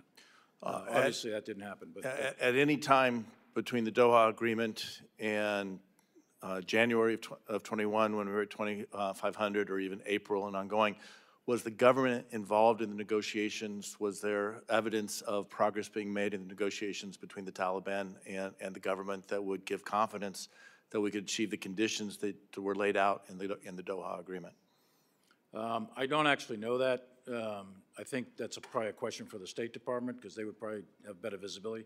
I don't think, I, I'm almost positive that there were no substantive negotiations between the government of Afghanistan, the government of, you know, President Ghani, and the Taliban. Now, there may have been some back channel stuff, there might have been some stuff that I'm not aware of, but I am not aware of substantive negotiations between the government of Afghanistan. And in fact, the Doha Agreement, that's one of the um, uh, requirements, one of the conditions, is that uh, there, one of the conditions is a reduction in violence for a specified period of time, I think it was 90 days, if I remember.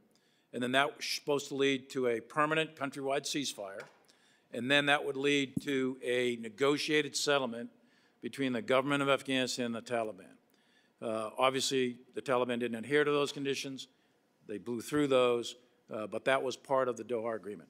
And that, I think, and I know you had Dr. Khalilzad here before, I think that's kind of what he was trying to make happen, but it never happened. I understand I'm, I'm almost out of time, but, uh, you know, the goal was to have that negotiated agreement. The Taliban quickly, I think, recognized that they didn't need to negotiate with the government. The government was weak and, and they could achieve their goals by, by other means. Uh, At what point, if any, and this is to both of you, uh, would you mark the tipping point where the outcome was all but certain? Uh, It was probably long before uh, uh, August of 2021, I imagine. I, I would say two points. One is the Doha Agreement, because it was negotiated between the government of the United States and a State Department designated terrorist organization, the Taliban, and it was a bilateral agreement, that kind of pulled the rug out morale-wise from both the Afghan security forces and the government itself, because at that point, they knew with certainty that there was a date certain now. Right. Uh, So I think that probably had a significant effect. We'll have to, historians are going to have to figure out exactly what that effect is. Uh, The actual observable tipping point of the collapse of the Afghan military, et cetera, that clearly is in July. Uh, As you start looking at uh, when, uh, when uh, um, provincial capitals start falling. The first provincial capital falls, I think it's 6 August, and then in the next 10 days, the rest of them start falling all the way to the capture Kabul. But it's at the, the end of July, sort of right at the beginning of August, it, it becomes evident that the Afghan security forces are crumbling, uh, and we're, we are in, a- and that's where the whole NEO thing comes up. Thank But you. that's, that's, uh, that's about the timing. All right, Chairman Gentleman's thank you for the extra time expired. I yield Uh, back. Chair recognizes Ms. Wagner. I uh, thank you, Mr. Chairman, and I thank our witnesses for their time and their, their service to our country, recognizing certainly our Gold Star families that have joined us and those that have not uh, today. One of the 13 lost at Abbey Gate uh, was from my community in Missouri, uh, Lance Corporal Jared Schmitz. And I also want to remind our, our viewers and our colleagues here today that the title of this hearing, of this particular hearing, is an assessment of the Biden administration's withdrawal from Afghanistan by America's generals. Even today, two and a half years after the Biden administration's botched withdrawal, after countless hearings, roundtables, and briefings, the incompetence that led to the abandonment of Afghanistan absolutely astounds me. The administration ignored the advice of allies, experts, and military leaders, blowing past warning sign after warning sign as it allowed Afghanistan to collapse. The total betrayal of our U.S. military servicemen and women, of our allies, um, of Afghanistan, and the subsequent chaotic, shameful withdrawal has seriously damaged our credibility uh, as an ally and a leader. And because of the Biden administration's actions, American communities are less safe and the world is much more dangerous and unstable. We are paying the price now with conflicts roiling every corner of the globe. And yes, General Milley, those responsible must provide answers, um, as you've said over and over, but also they must be held to account. General Miller, General McKenzie, I ask the following questions not just as a member of Congress, but also as a mother of an Army Ranger who served uh, under your command in combat in Afghanistan. So let me ask both of you, General Milley, General McKenzie, did you engage with our NATO allies and other allied nations about the withdrawal plan before President Biden announced his decision to go to zero in April 2021? Absolutely, sure. That was fundamental. And then the NATO slogan at the time was in together, out together. So we coordinated multiple times with our NATO allies. Did our, did our allies with troops in Afghanistan recommend not going to zero prior to or after President Biden's April 2021 withdrawal announcement? John McKenzie? Yes, they did, and it was my actual belief that had we stayed at 2,500, we would have had probably 5,000 Yours and everyone forces. else's. Maybe more, maybe more than that. including the Trump administration. Did our allies with troops in Afghanistan inform you that they would withdraw if the U.S. went to zero? General Milley? Yes, they, they said, uh, we'll be aligned with you, in together, out together, we'll be aligned with you, and, and that they would follow our lead. General McKenzie? Yes, because of the unique capabilities that the United States brings, they couldn't have stayed without our presence. General Milley and General McKenzie, with the withdrawal of U.S. forces from Afghanistan was nearly uh, complete by mid-July, more than a month ahead of the August deadline. Why was the drawdown ex- uh, uh, executed so quickly? And did you at any point believe the process was moving too fast? I'll, I'll, I'll take that. So it was by design. From the very beginning, we wanted to get out as quickly as we could because we believe speed brought safety, and it would also give us a cushion in case unanticipated problems And what arose. objectives, threat assessments, or orders were driving the speed? Concerns about the Taliban attacking us, concerns about ISIS being able to carry out attacks, and, but also a desire to have room at the back end in case we had trouble, we had weather problems, we had aircraft problems that, that slowed us down in, in, in case that did not happen. It's now, was- it's now clear, sir, that the Afghan military and some of our allies, for that matter, were not ready for how quickly the U.S. Uh, withdrawal occurred. Did you ever consider or advise that the pace of the drawdown slowed to ensure the Afghan military was able to successfully transition? Um, if so, why was such action not taken? So the Afghan military was read in from the beginning about the pace of the withdrawal. And frankly, ma'am, I don't believe that waiting another 30 days would have had any material impact at all on One, the one quick other question, ability. and I thank you so much. General Milley, General McKenzie, has the Taliban been carrying out a campaign of retribution, reprisals, and revenge killings against the Afghan allies that we left behind? I believe, yes. Absolutely, systematically. Systematically. I yield back. General A yields. Chair recognizes Mr. Phillips. Uh, Thank you, Mr. Chairman. Uh, Chairman Milley, General McKenzie, thank you for your sacrifices. To my colleagues on both sides of the aisle who have served in uniform, thank you for yours. To all of you in this room who might have served, um, I'm grateful. And particularly to the Gold Star families uh, in the room. Uh, If you might just raise your hands, those of you here are representing loved ones. Okay.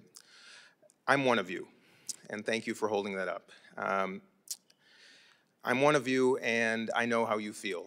I've been looking for answers my whole life after having lost my father in Vietnam. You can imagine the questions I have to this very day.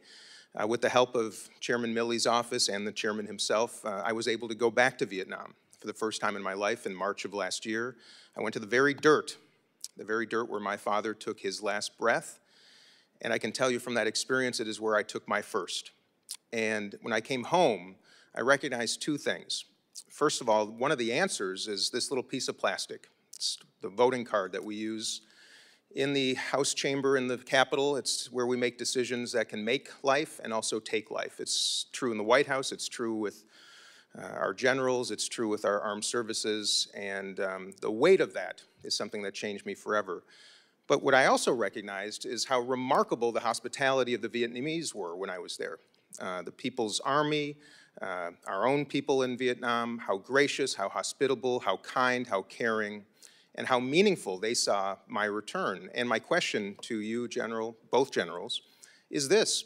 What do we need to start doing today, today, in Afghanistan to ensure that families here and families of the 2,400 others that lost their lives can one day return to Afghanistan and have that same blessing that I had to visit the dirt where my father was killed. I'll be candid, um, Congressman.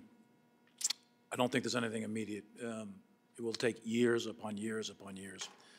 Uh, in my view, this personal view, I believe the Taliban is still a terrorist organization. I still believe that they conduct incredible, horrific retribution inside their own country, and I would not recommend uh, to any family member at this time to return. There is probably some diplomatic initiatives that could be done in the years ahead, uh, but the Taliban. And that's my question, sir, is, is you know, my return was 54 years later. What do we need to do now? it'll be 10, many years. 20, 30 years to plant the seeds so that people can return? I- I have a, look at, I've served several tours in Afghanistan, a lot, a lot, lost a lot of people, uh, to include these 13, and I have a problem reconciling with the Taliban. My father had a problem reconciling with the Japanese. Wars are horrible, terrible things, and um, I'm carrying that with me, and I'll probably go to the grave with it. Um, So I don't know how, long- how many years it's going to take, but it's going to take a long time. I appreciate it. General McKenzie, any thoughts on what we need to do, this institution, members of Congress, the White House, what do we need to do now? Well, I think frank, Or 50 years from now, others can go back? frankly, our principal concern with Afghanistan right now should be the fact that al-Qaeda and ISIS have the opportunity to gather strength in ungoverned spaces with clear desire to attack our homeland. So I think we should begin with concern about that. And Let's I- talk about that. What should we be, do- on that account? It's more difficult now than it was before, obviously. What should we be doing now? So I think we need to continue to resource U.S. Central Command so they have the opportunity to do surveillance into Afghanistan. I'm, I'm out of that picture now. I don't know Understand. what they do, but I think we need to keep an eye on it. Um, I think that's very important. In the long term, I believe it is decades away before there's going to be any rapprochement with Afghanistan, particularly given their, their unusually and specifically horrific treatment of women, children, human rights issues, and they seem to embrace that. I agree with the chairman that the Taliban is a terrorist organization. They themselves don't have a desire to attack us in our homeland, but they do harbor entities and organizations that do have a desire to do that. And I think right now, it's hard for me to get beyond that relentless focus. I understand, but, I- have about 50 seconds left. The U.S. has a history of making war, sometimes successfully, sometimes not. Uh, we also have a tradition of making peace, sometimes successfully, sometimes not. But looking to success and prospectively, uh, we've made a lot of our former enemies our dear friends and, and allies.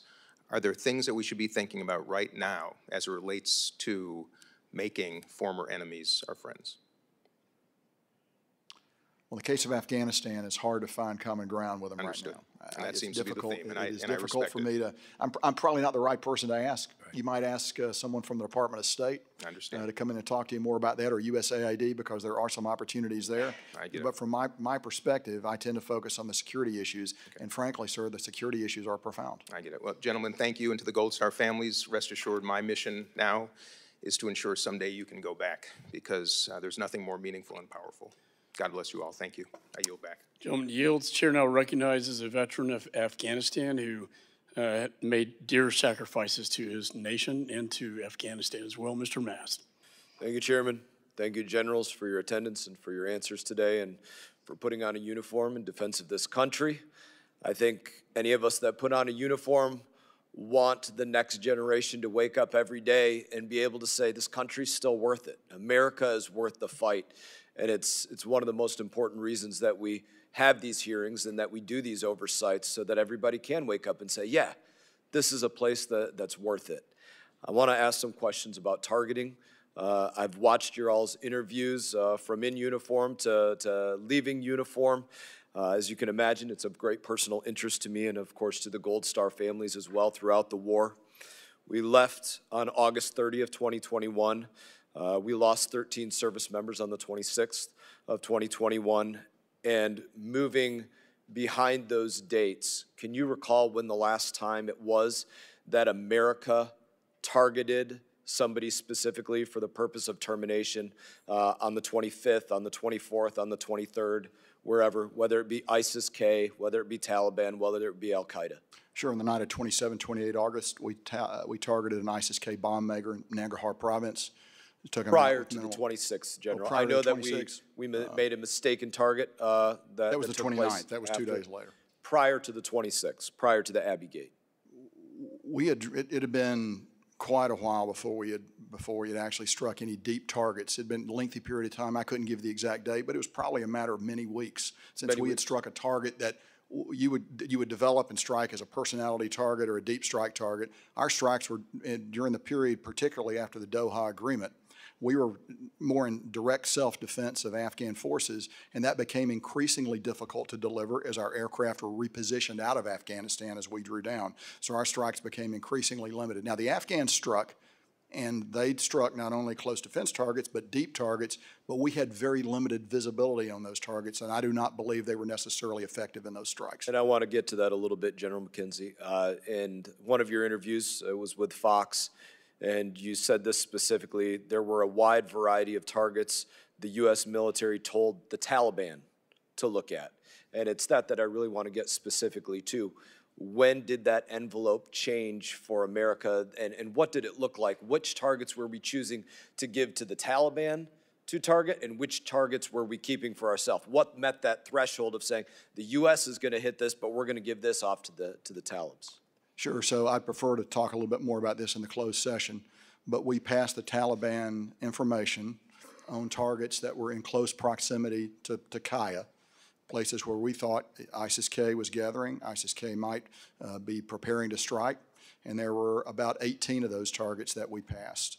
Uh, and they took action on some of them. I can't tell you if they took action on all of them because we didn't have visibility on them. Now, when I say they actioned them, they didn't strike them with a drone. Obviously, they drove out, looked at looked at the location, may or may not have taken action. But I can tell you that we did that, I believe, 18 times during this period of time.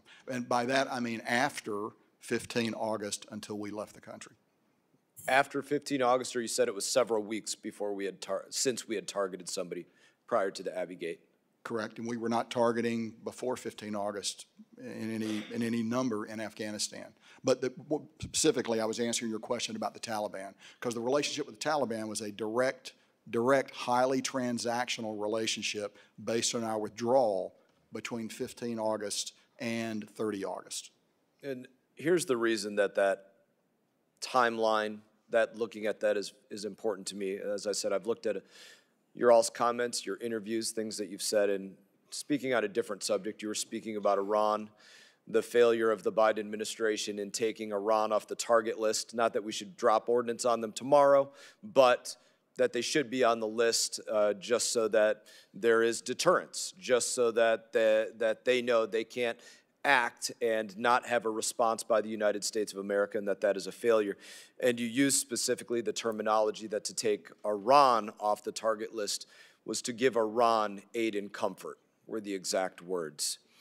And it is my opinion that if we are ceasing to target Al Qaeda, ISIS K, or the Taliban in those days leading up to August 26th, then just as you looked at a lack of targeting Iran as giving the enemy aid and comfort, I would look at giving that enemy, I would look at those lack of actions as giving that enemy aid and comfort. And in that, General, my time has expired. Gentleman yields back. Chair recognizes Mr. Connolly.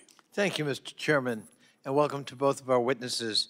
General, General Milley, I just, as an American, I want to thank you for your service and for how you've conducted yourself in that service. Uh, America owes you a debt. You come from my hometown of Boston, just outside Boston, if I understand it correctly. Uh, your father fought in World War II in the 4th Marine Division in the Pacific, is that correct? And your mother was a nurse who served in the U.S. Naval Reserve during that same war, is that correct? She worked at a hospital out in Seattle, took care of the wounded, that's correct. And you had an uncle who served in the Korean America, uh, Korean War. I had two uncles that were also in World War II, one in the Philippines and one was landing at Normandy when my dad was at Saipan, and another uncle that was in the Korean War. So it'd be fair to say your family really answered a call to serve its country, uh, including bearing arms to protect this country and to uh, deter its adversaries and enemies. Is that correct? That's correct. And two uncles in World War I and cousins in Vietnam. Ah, even going further. That's right. And then you yourself deployed in Somalia, Panama, Haiti, and multiple times as brigade commander to Iraq and Afghanistan. Is that correct? That's correct. You're proud of that service? 44 years, proud. Are you proud of that service? Absolutely, 100%. And then a retired Colonel Ross Davidson, who served under you in Baghdad, recounted one incident where you ran across a booby-trapped bridge at night in order to prevent a pair of U.S. tanks from blowing up and thus save lives. Is that incident accurate? It's correct. General Milley, on a Truth Social post on September 22nd of last year, Donald J. Trump said, talking about you, quote, this guy turned out to be a woke train wreck who, if the fake news reporting is correct, was actually dealing with China to give them a heads up on the thinking of the President of the United States. This is an act so egregious that in times gone by, the punishment would have been death, unquote. And a member of the other side of the aisle on this very committee called you a traitor and said, I quote, in a better society, Quislings, referring to the leader of Norway during World War II who collaborated with the Nazis, like the strange, I won't use the words used by our colleague, General Milley would be hung, unquote. General Milley, what's your reaction to those statements about you, especially given you and your family's long service, distinguished service to the United States of America, as we're discussing patriotism and protecting troops, I wonder how you respond to the kind of slander I've just read attributed to two prominent political figures. Well, let me just And if you could move the mic closer so we can Yeah, hear you. So, obviously, I don't agree with the comments, but it's a free country and people can say what they want, but with all due respect, Congressman, I'm here for the families of, of, of Abbey Gate, and I'm here for the families of those that served in Afghanistan, um, and I'll leave those comments as much as I don't care for those comments, I don't agree with them. They have a right to say them, uh, but I'd like to stay focused on these families if, if, with respect. I think that's very much in keeping with the honorable tradition you've set in your own career and your own good name. But as a member of this body, I want to let you know, I find those comments inconsistent with the honor we're trying to bestow on those who lost loved ones, who have served and served nobly their country. You deserve that honor and respect too. And those kinds of comments are dangerous and unbefitting anybody, from my point of view, who serves or seeks to serve public office. And as a member of this committee, I want you to know I renounce them, and I have a very different view of your service. Thank you for serving the American people. I yield back. Gentleman yields. Chair recognizes Mr. Barr. Thank you, Mr. Chairman. General Milley, uh, General McKenzie, thank you all for your service. Um, on July 2nd, 2021, the United States left Bagram Air Base in the dead of night without notifying the base's new Afghan commander, who discovered the U.S. departure more than two hours after the military had left. Um, General Milley, um, was your assessment at the time that Bagram Air Base was the most strategically important base in Afghanistan and across the region? I think it was a strategically important air base. However, at that point, uh, the troops had been drawn down to a degree that it was not defendable by U.S. forces, so there was no question of closing it. As far as the specific information of the Afghan command, I read that in the media. I, I don't know. I'd ask Frank to comment on whether he knew or didn't know. Well, sir, sir, what, was Bagram a key component of U.S. air capabilities to strike ISIS-K and Al-Qaeda and to stop Taliban advances? Sure, and it had been for 20 years. And is Bagram Air Base, or was uh, Bagram Air Base the only U.S. air base in a country with a physical border with China? Um, well, we had several previously, but at that point in time, that was the only one remaining. Um, who, General Milley, uh, made the, gave the order to abandon Bagram? Well, the president makes a decision, announces it on the 14th of April, uh, and the decision very simply was uh, withdraw U.S. forces and keep a diplomatic presence. The embassy is going to remain in uh, Kabul, and if you're ever going to have to do a NEO, then you're going to have to use the Kabul International Airport as the evacuation airfield. Would it, would a NEO, could a NEO have could a NEO have taken place in a more orderly fashion had it been conducted out of Bagram versus HKIA? It's sure, but you don't have the forces to defend. It's it's a question that it's a non-question in the sense that you don't have the forces to defend Bagram.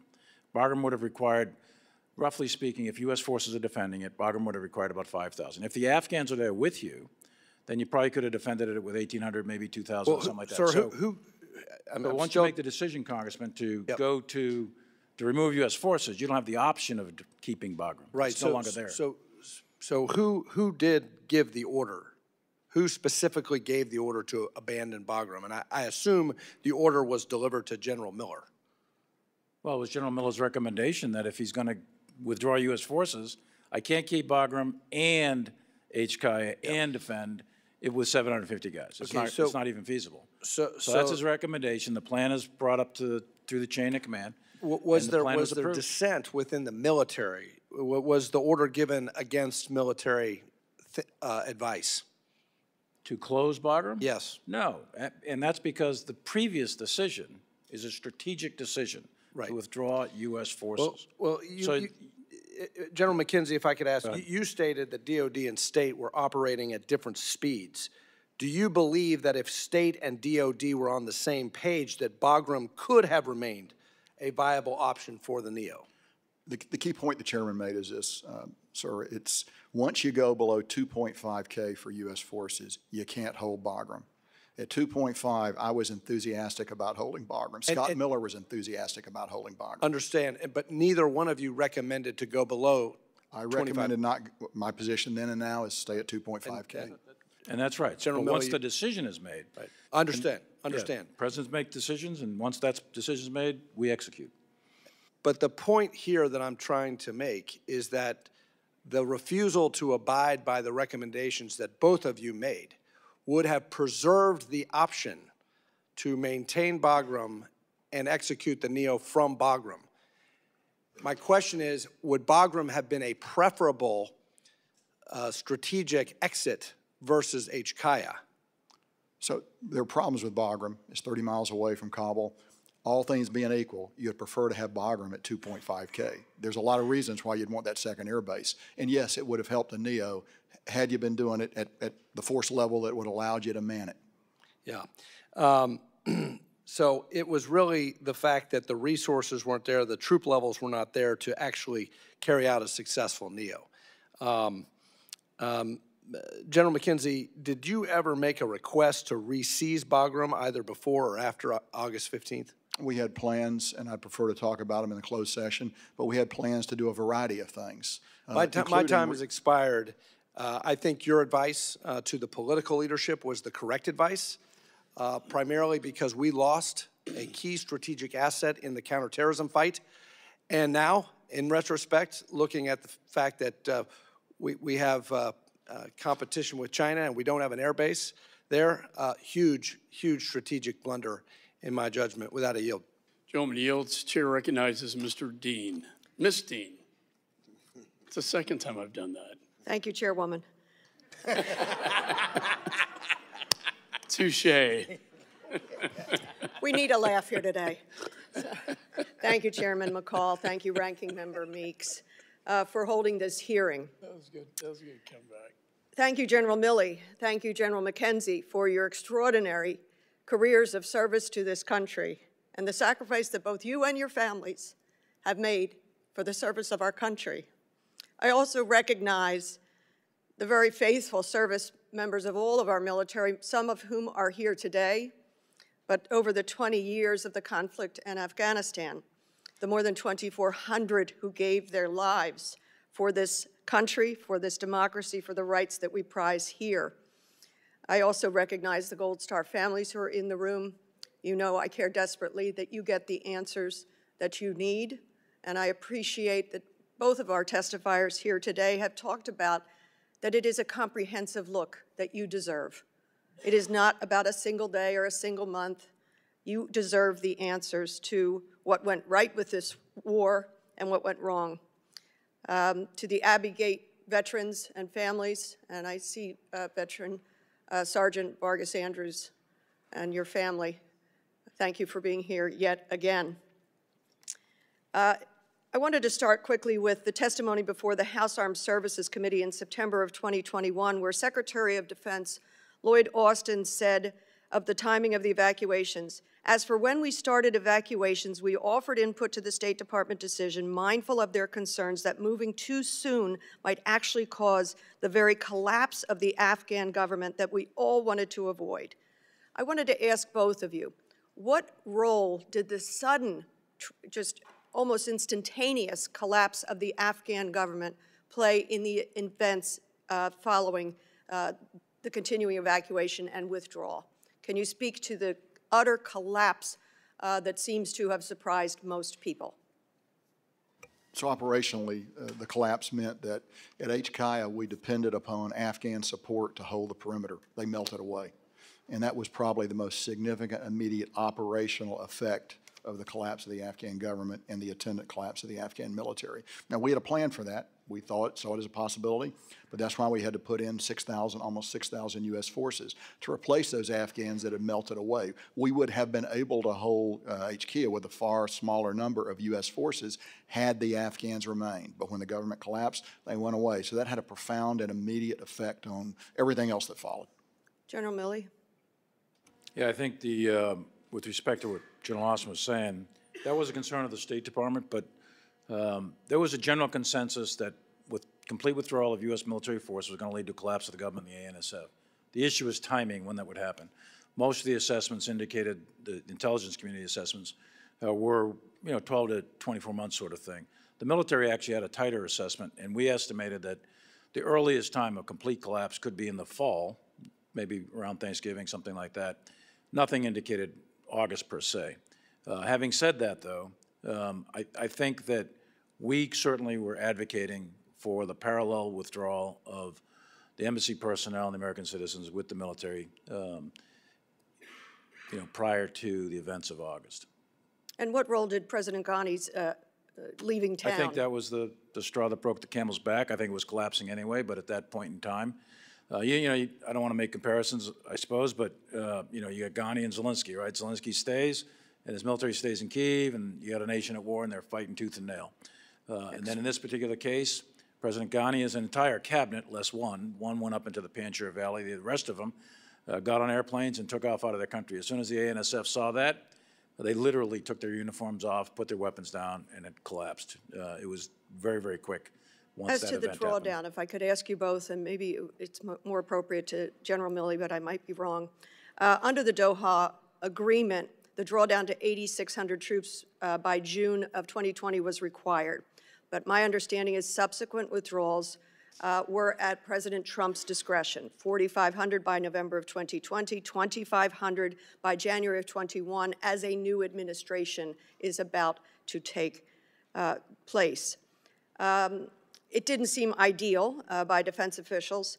What, on what basis did President Trump order the troop withdrawal to 2,500 in January of 2021? Um, Well, to back up, the requirement to go to 8,600 was 135 days after the signing of the Doha Agreement. Um, And that was executed. Secretary Esper was the Secretary of Defense. Uh, Then Secretary Esper submitted a recommendation, and I concurred with it, uh, to withdraw to 4,500 and hold at 4,500 until all the conditions were being met. Secretary Esper was uh, removed from office on the 9th of, uh, of, of November.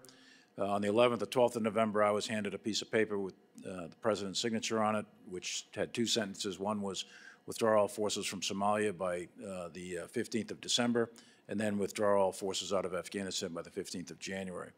Uh, We went, uh, the acting Secretary of Defense Miller and I and others went over to the White House to confirm that order because we had not been consulted on that. Uh, So we did, and that order was then subsequently rescinded, and on the 17th of December or November, uh, uh, another order was received, signed by uh, Robert O'Brien, the National Security Advisor to the President, which directed at that point to come down to 2,500. 2,500 was always given as the min force required by the military as a recommendation to two consecutive presidents. And yet momentarily, the president, the former president, placed an order to withdraw everybody. Well, there was a draw down to zero, and then it, you may recall, I think somebody had mentioned it, that there was kind of a, there was, there was some discussion of everybody's home by Christmas, that kind of thing. But the actual formal orders is what I just discussed. Again, I thank you for your service, and, and I thank all the The- military families. Gentle ladies, time's expired. Chair now recognizes Miss Young Kim. Thank you, Chairman uh, McCaul and Ranking Member Meeks for holding today's hearing. I want to thank uh, General Milley and General McKenzie for coming before our committee uh, with your testimonies. And I do also want to welcome the Gold Star families and veterans. Thank you for your service. Um, following the chaotic withdrawal of, uh, you know, from Afghanistan, President Biden stated that he owes no apologies for how the withdrawal was conducted.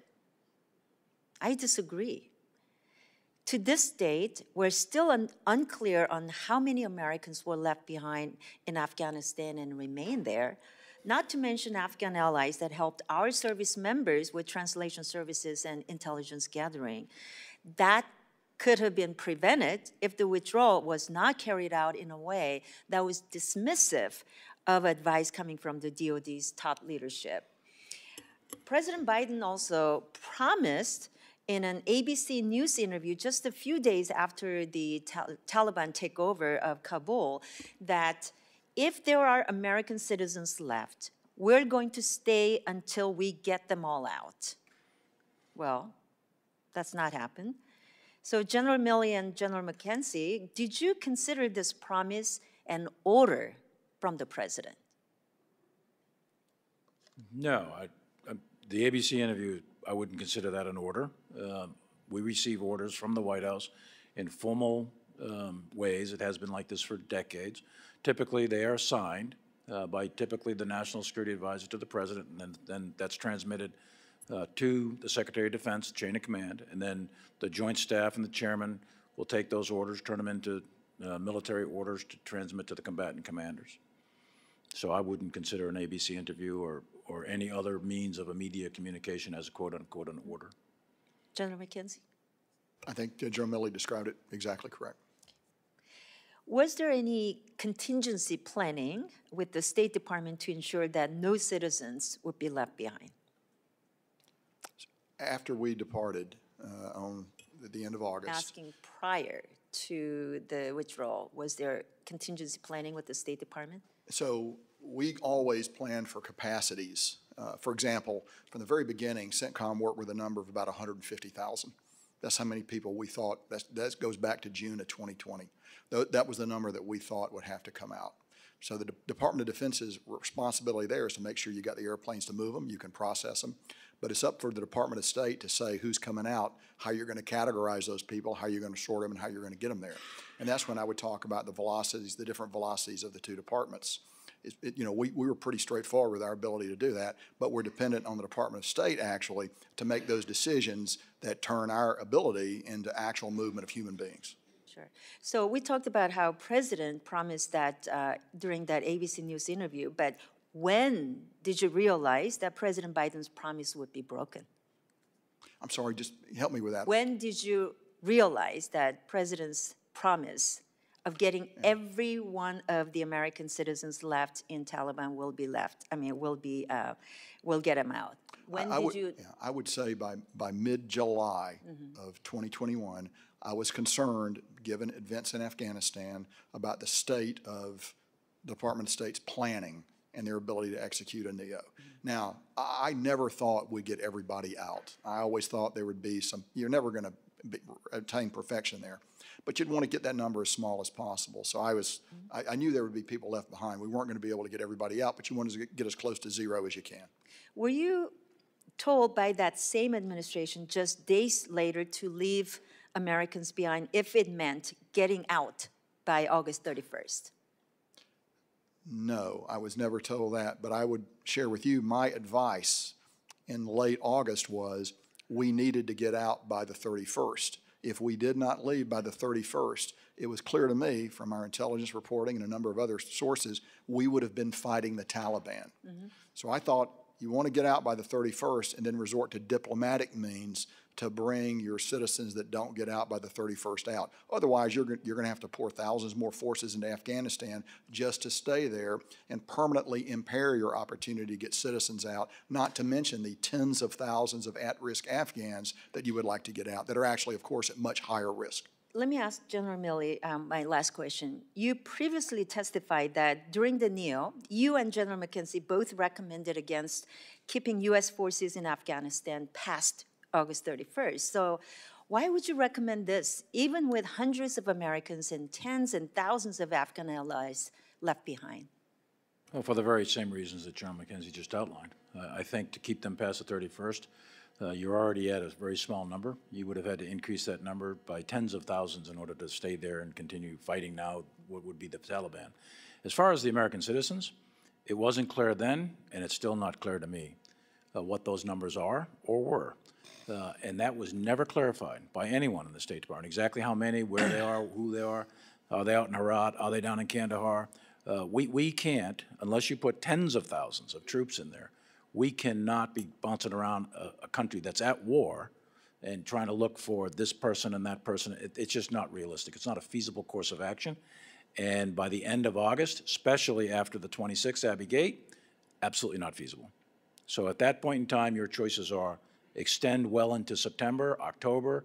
You could look forever because you don't even know what number you're looking for, and you don't even know where they're at. So those weren't feasible or acceptable courses of action at the time, although I do understand the human desire, uh, but didn't know numbers, didn't know necessarily where they were, and so on and so forth. So not a realistic option. Got it. Well, thank you very much. My No, time's up. ladies, time's expired. The Chair recognizes Mr. Moskowitz. Uh, Thank you, Mr. Chairman. Um, Thank you, Generals, uh, for uh, your service uh, to the country. Uh, And echoing comments of my colleagues, I want to obviously extend my condolences to the Gold Star families here and that are, were here earlier uh, and um, paying the ultimate sacrifice for our country. I also want to recognize the sacrifice of our colleague Brian Mast for his service in Afghanistan. Um, a lot of people on this committee do a lot of great things uh, in service to the country. Um, I want to thank our colleague Corey Mills, who just over the weekend helping getting people out of Haiti. Uh, and I hope, Mr. Chairman, we can soon get a classified briefing on the situation uh, going on uh, there. Uh, this obviously is a very important topic today on what happened uh, with the withdrawal from Afghanistan. Why it did not go according to what the experts uh, in the Pentagon and in our intel community believed. I think we need to know what gaps existed. I think we need to know how that happened. I need to know the lessons that were learned. And most importantly, how do we prevent something like this from happening uh, in, in the future? Um, you know, we had soldiers die over the 20 years of war, and we had soldiers die on the withdrawal. And I, I think multiple things can be true. A lot of times in this town, we like to, it's an and or kind of deal, right? It's either Trump was responsible or Biden was responsible, right? I, I actually think in Afghanistan, it's an and and, quite frankly. Uh, I think there were mistakes made in the withdrawal. Uh, I think the American people think there were mistakes made in the withdrawal. And I, I think it's okay to admit that. I mean, what, what's the opposite of that? That the withdrawal was perfect? Everything went according to plan?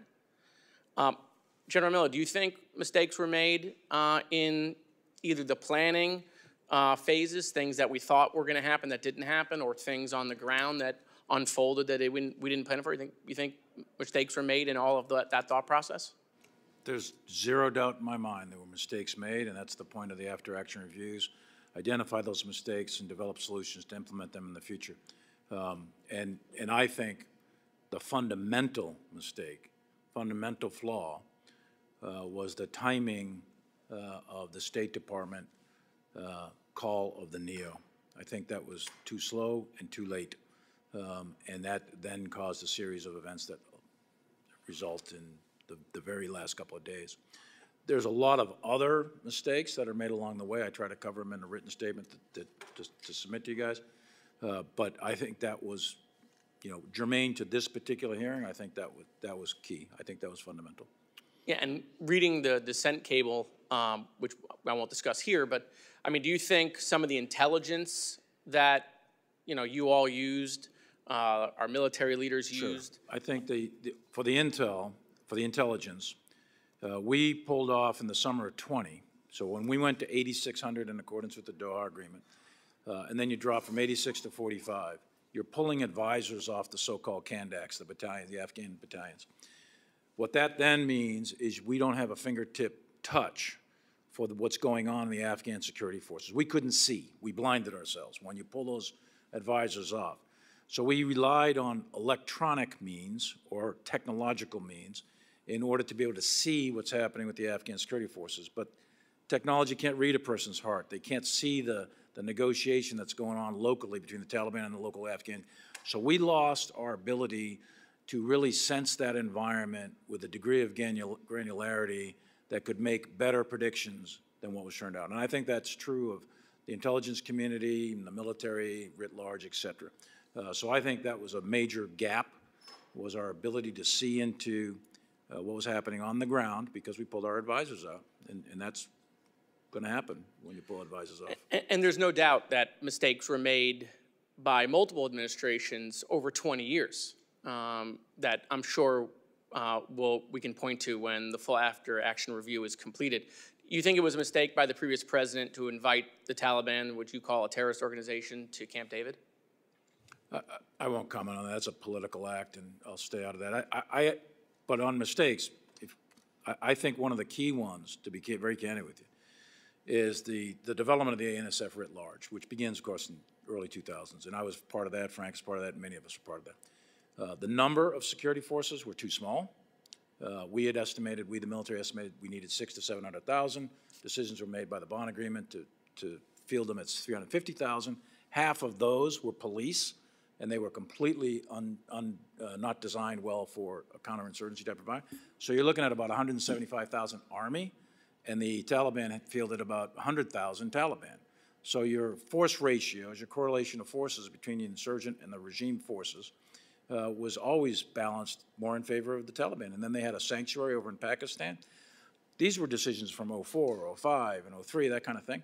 But they have second and third and fourth order consequences to the outcome of this war. So by the end of the day, the Taliban uh, or the uh, ANSF, there was mirror imaging going on. We tried to build a conventional army. We didn't build their commandos and special forces till late. Uh, there's a whole series of these that go way back uh, in time that ultimately end up in a collapse of the Afghan security forces under intense pressure by the Taliban in the summer of 21. Thank you, General. My Gentleman's time has expired. Chair recognizes Mr. Huizenga. Thank you, Mr. Chairman uh, and generals. Um, I'm going to share a couple of, of quick stories, and one of those was related to those Gold Star families uh, that are here. Um, I had a constituent who didn't lose his life but was severely, severely injured in the blast. I, uh, I don't use his real name. I call him Jose. He was a Marine. Uh, he was a 240-pound machine gunner that, uh, when I first met him, was about 175 pounds after he was recovering from his injuries. Um, this young man, though, so dedicated to his country, he re-upped. Unfortunately for the Marines, they didn't take him back. uh, but he's now a Navy corpsman and uh, has, uh, has still continued to try to serve his country. Um, what I'm frustrated about is what seems like the subservient behavior of the State Department and DOD, frankly, to a lot of us. Um, seems that some individuals within the departments chose to save face for the administration rather than acting and possibly bringing home an already, uh, uh, sorry, rather than bringing some shame to a, to a, a foreign policy that, uh, that was a disaster. And um, this could have saved both American and Afghan lives. Uh, General Milley, you talked about the number of citizens, how it was impossible to know who was there. Um, I found myself screaming at the television when I was watching a DOD brief, I'm sorry, a Secretary uh, uh, uh, Blinken and others within State Department briefing saying that their estimate was about 200 U.S. citizens, most of who chose to stay in Afghanistan. That was total BS, and I'd like to say the actual words, but I'm trying to not restraining myself. My office alone had nearly 200 open cases 200 cases, not 200 people, 200 cases in my congressional district alone. And as I talked to my constituents, or I'm sorry, my colleagues, they were having similar numbers. So this, this fantasy that we didn't know that there was U.S. citizens over there or where they were or what they were doing is a complete fallacy. State Department should have been talking to us, and they were not. The other story I have on that is about one of those citizens. Um, he was uh, an interpreter um, with, uh, with the Army. Um, he was able to escape Afghanistan. He is a U.S. citizen now. He is here in the States. His wife was not as fortunate. Her first two attempts at entering um, uh, she was beaten almost to death by the Taliban. Now, there was a little problem. The U.S. Embassy had her passport and had all of her information. Guess what they did? They destroyed it all. They destroyed it all on the um, retrograde. So they printed off, she had to print off a letter to that she could then show. Guess what that letter proved to the Taliban? Where she was going. And uh, so after the second beating, she left. We were getting literally phone calls into the office. Uh, woman, Beatrice, in my office, was literally talking to her in the middle of the night. The third time she went was when the explosion at Abbey Gate happened. Fortunately for her, she was not one of those 170 Afghans that were killed. And fortunately for my constituent, Jose, he wasn't one of the 13 Americans who was killed. We welcomed her home to the United States this past weekend. Finally. If that is not an indication of a broken, broken policy and broken system, I don't know what is. I know she's dealing with the literal physical and psychological scars that this government has put on her. Very quickly, General McKenzie, what information uh, about American citizens did the U.S. pass to the Taliban? very limited information, and you'd really need to talk to state because they were the agency that did it. But it was designed to get them through, typically in convoys into the compound. But I, I, you'd need to go to the Department of State to get good Are, information. are you on that. aware of those claims, even by some State Department employees, that the Taliban was beating up American citizens and others like like uh, like my constituent and his wife, uh, who were green card holders? I'm aware of those claims. Are you aware of the claims that the Taliban beat up or even killed Afghan allies outside the gates of HKIA? Yes, I am. Um, Mr. Chairman, we had the sniper who had the bomber in his sights here in front of our committee before. And that was run up the chain of command, and he was denied the ability to take that sniper out. That's a breakdown. Um, and I believe that the security control of Kabul con contributed to this violence. I know my time is up, and I, have got a few other questions that I'm going to put in writing through the through the chairman. Um, but at the end of the day, this was a shameful situation all the way around. I appreciate your willingness to work with these families and meet and talk with them now, but we must have accountability. We must. With that, Mr. Chairman, I yield back. Gentleman yields. Chair recognizes Mr. Keating. Uh, Thank you, Mr. Chairman, and uh, Gold Star families here. As a Gold Star uh, family member, my uncle being killed in action, uh, thank you for being here. Uh, Condolences are your loss and uh, gratitude, uh, eternal gratitude for the great sacrifice uh, and courage uh, of those we loved.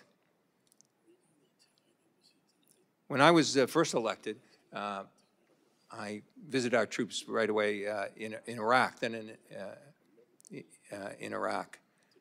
And I came upon a Marine and I, I asked him, you know, in conversation, what his opinion was of the war at that stage. And he looked at me and told me one of the most important lessons I learned. Uh, he said, Well, sir, uh, I'm here to serve. Those kind of decisions and those questions you're asking, well, those are yours.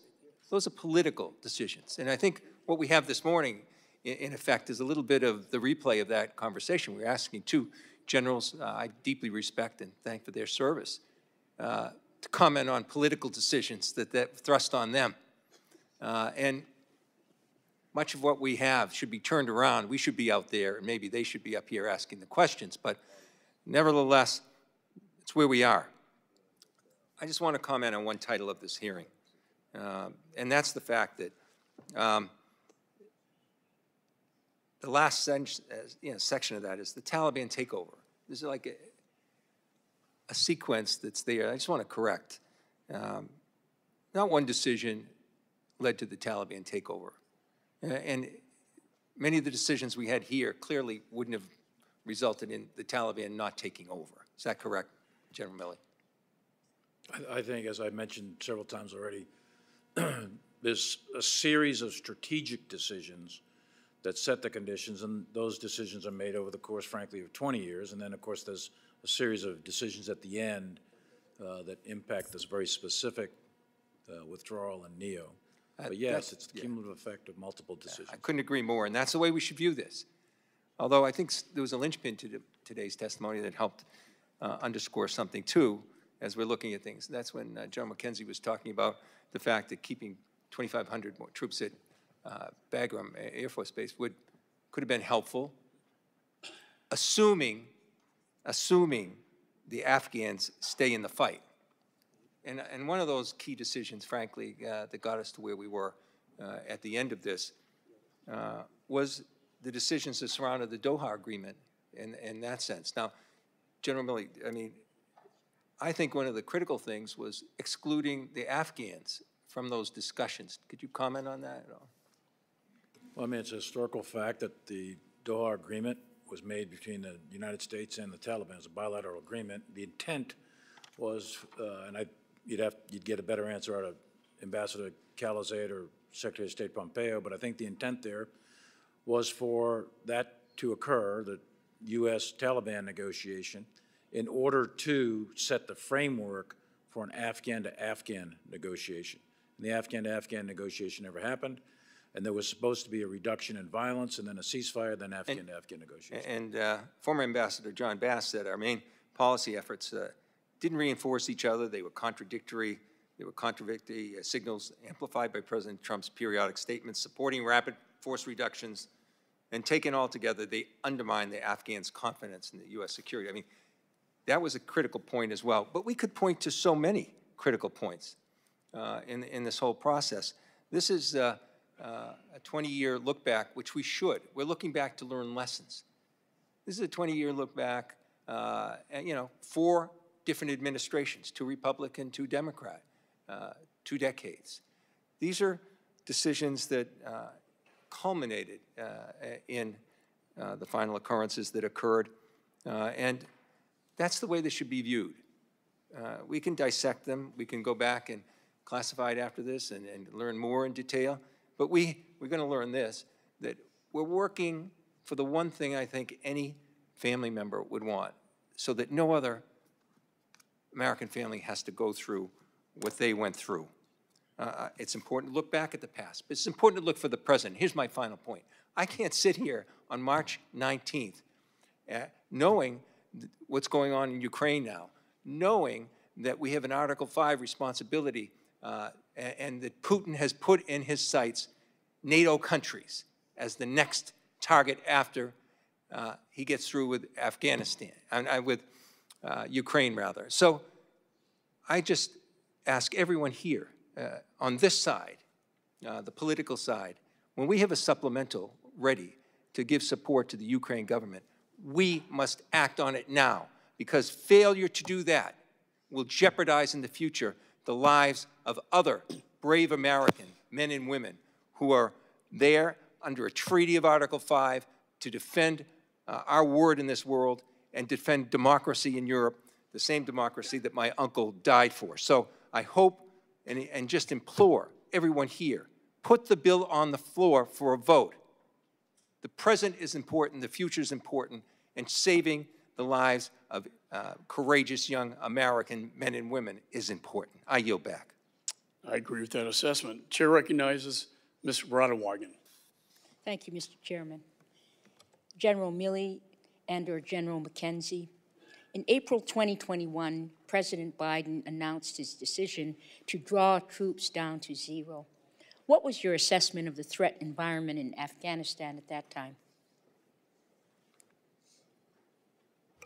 So my opinion then and my, my opinion now was that if we go down to zero, uh, you're going to see a rapid collapse of the Afghan government and the Afghan military. And it would be difficult for them to sustain themselves because they were not prepared to stand alone. Did you advise against any part of the withdrawal as announced? And if so, what concerns did you have and to whom did you raise them? So ultimately, I participated in meetings at the very highest level where I expressed the opinion I've just stated to you, and it was heard. So I, I, I don't want to go into specific discussions with the president, but I had the opportunity to express my opinion at length, and I did so. In September 2021, you testified before the House Armed Services Committee that going below 2,500 was the other sort of nail in the coffin. Did you hold this belief in April 2021, and did you provide this assessment to the President or anyone else in the administration? So my, my assessments are typically provided to the Secretary of Defense, and he forwards them on as he, as he wishes. And I've had the opportunity to be in higher level meetings, and I've expressed my opinions in those meetings. But generally speaking, my, my assessments go up through the Secretary, and he's the, he's the agent that carries them over to the interagency process. Did your military leaders on the ground in Afghanistan raise any concerns to you about the withdrawal? If so, what were their concerns? Well, sure. So General Miller, four-star commander in Afghanistan, his position mirrored mine, and the concerns that I've just articulated to you were those that were completely shared by Scott Miller. And in fact, many of my positions were developed from his initial analysis because he was the commander on the ground. What was your assessment of the strength and movements of the Taliban at the time?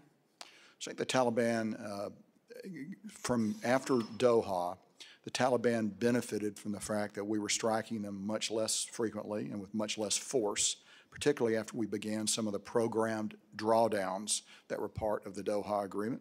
So they began to become larger, bolder, and, uh, and more aggressive. Now, key point is they also drew back considerable, not 100%, but 99% of their attacks against us and most of their attacks against us were probably low-level Taliban commanders who didn't get the word.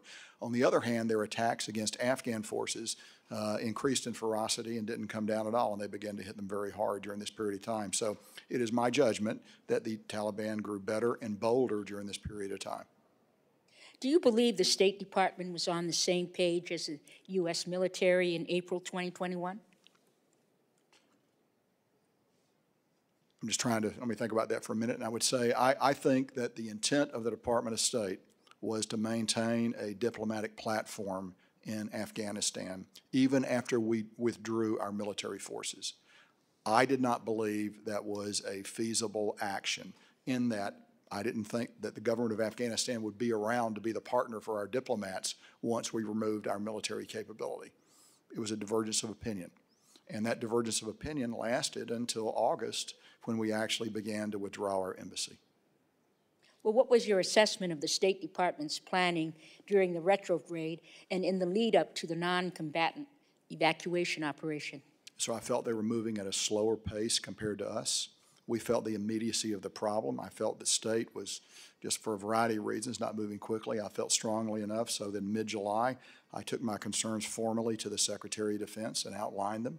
And I felt it ranged everything from the number of potential consular officers that we could use to process visas to what we might or might not do for lily pads across the region if we had to pull people out, uh, to detailed plans from the, from the embassy itself, a variety of things that concerned me, and also particularly the requirement for closer collaboration with the embassy and our State Department partners as the situation on the ground began to get worse and began, in fact, to accelerate. Thank you, Mr. Chairman. Yield back. Gentleman yields, or General Lay yields. Uh, Chair recognizes uh, Mr. uh, Davidson. Uh, Thank you, Chairman. I thank you, uh, Generals, for your presence here today.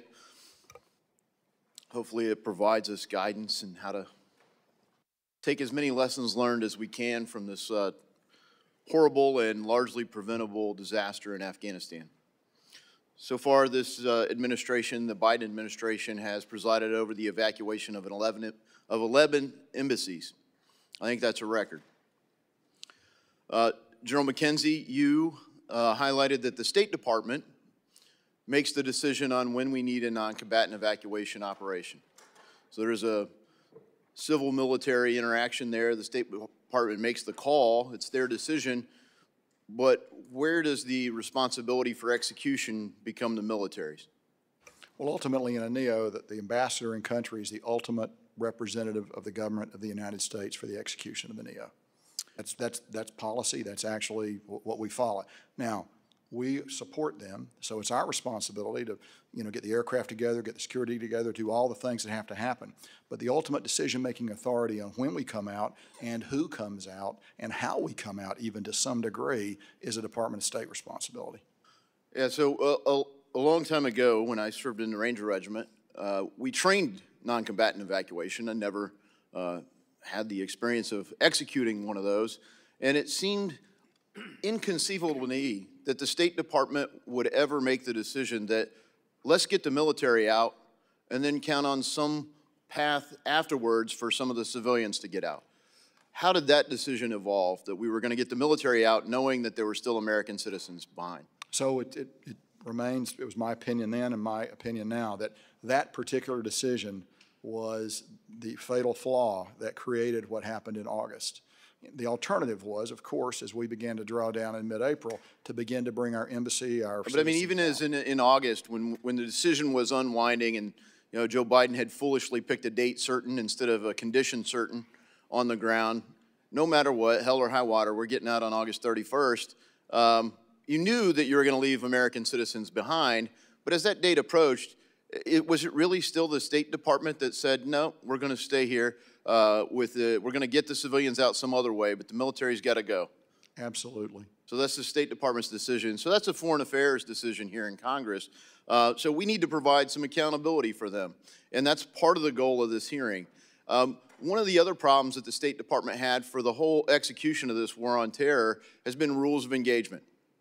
So uh, could you explain the, the role of the State Department in uh, working with the De Department of Defense on rules of engagement? Sure. So at my level, the combatant commander level, I had no input from the Department of State on my rules of engagement. My rules of engagement came from the chairman, the standard CJCS ROE, uh, and were existed solely within the Department of Defense. So there was never a crimp or a pressure on the rules of engagement that we gave the force in Afghanistan or Iraq or anywhere else in the Central Command Theater as a result of Department of State. So that pressure. wasn't the State Department then? It was not. So Rules how did it break down? How did it break down? That so between the time the rules of engagement that apparently you all felt no need to change, must be working well. How did it break down that that uh, Sergeant Tyler Vargas Andrews couldn't get a commander to make a decision? So I mean, frankly, it seems like the sniper should have been trusted with a decision, maybe a call to a platoon leader, company commander, but even up at the battalion commander, he couldn't get somebody to make a decision. What was broken? So that's a tactical question at a very low level. I don't know the exact details of that, but I can tell you this: the first principle of any rule of engagement is if you see or if you if you feel a threat, if it's intent or in action, you always have the right to defend yourself. Well, over the years, the big problem was that you held the junior enlisted guys accountable for a lot and the officers and civilian accountable for almost nothing. Now, I'll admit every now and then a general got fired and they put a different one in, but they didn't go to jail. They didn't lose everything. They just left Afghanistan. That's not how the junior enlisted guys were treated. So you really think that they felt empowered to make those decisions? Sir, I can only say that in the defense of uh, HKIA, we employed these rules of engagement three times with lethal effect under conditions exactly as we're discussing. So, yes, a, lot of I- that sounds like you're blaming the guys on the ground for not making a decision. I, I really don't think that's what happened.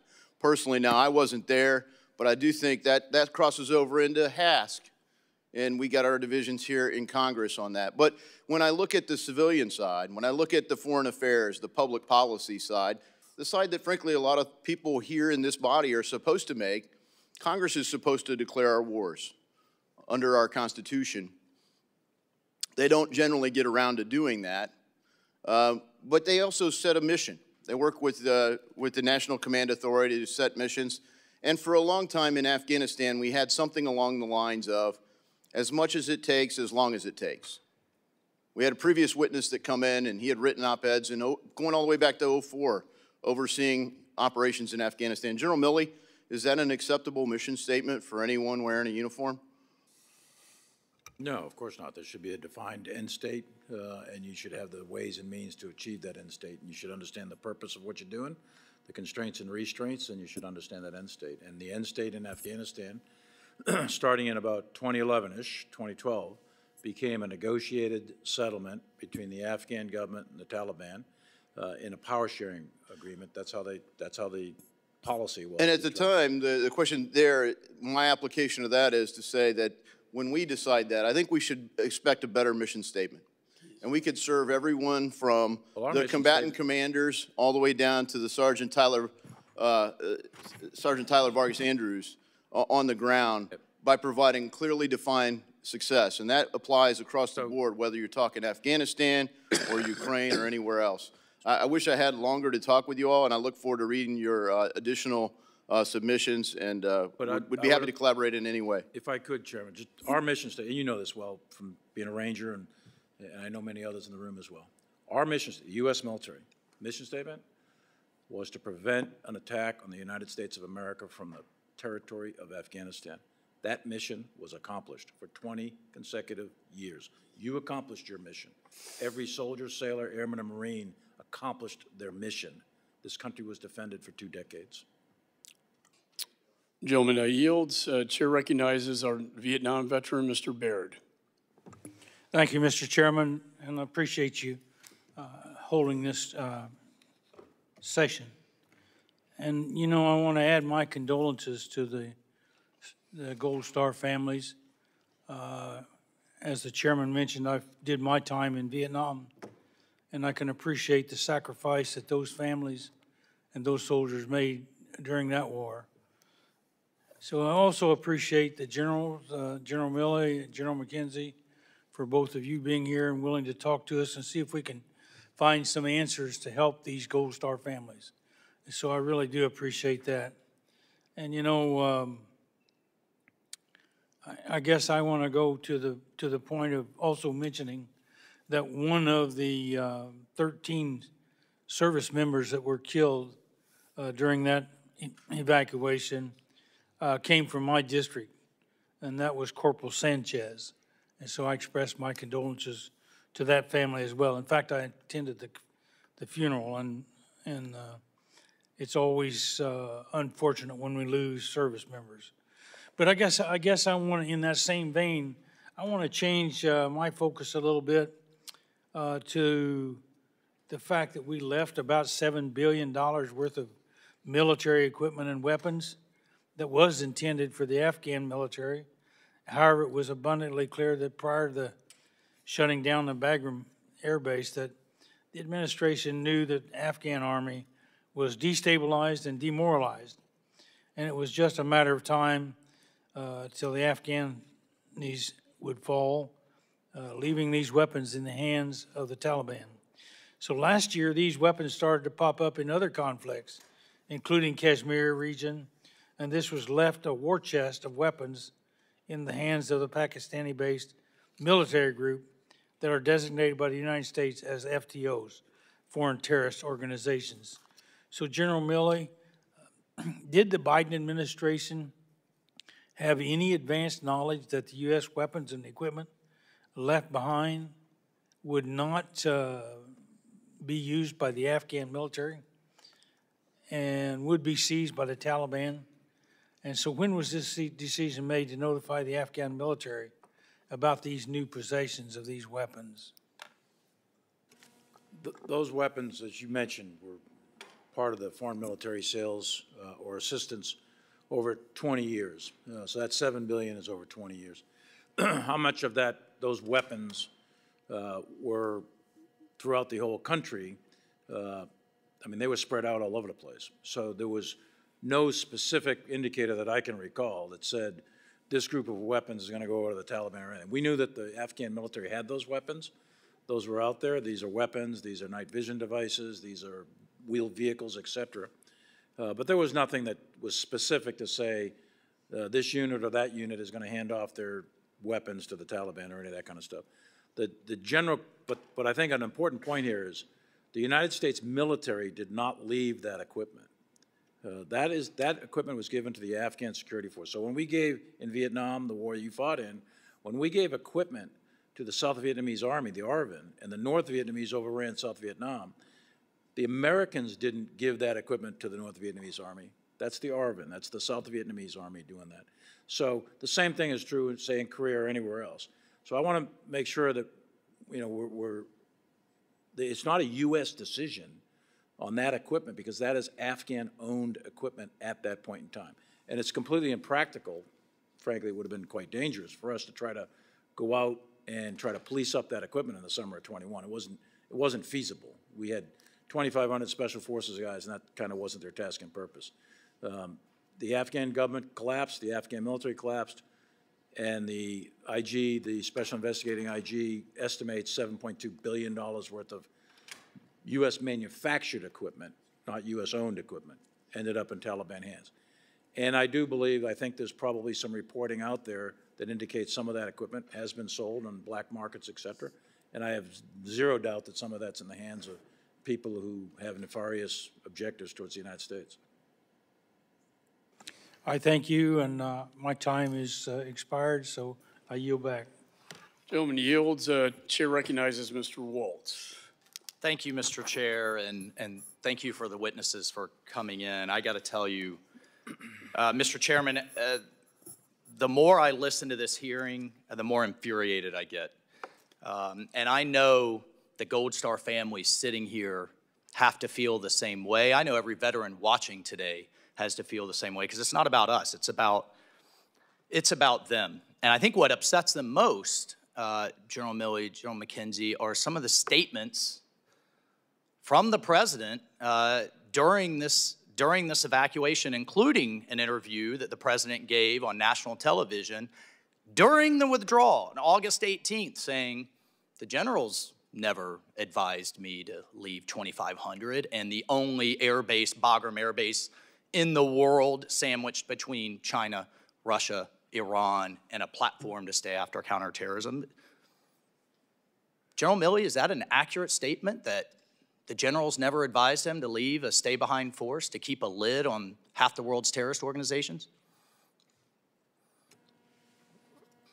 I will tell you what my thoughts were at the time, um, my assessments Well, at you, the time. let me just say, you've testified today, you both testified repeatedly Yes. that you advised the National Command Authority we should leave a 2,500? stay behind force, 2,500 including the plus. NATO plus the That's right. contract. That's correct.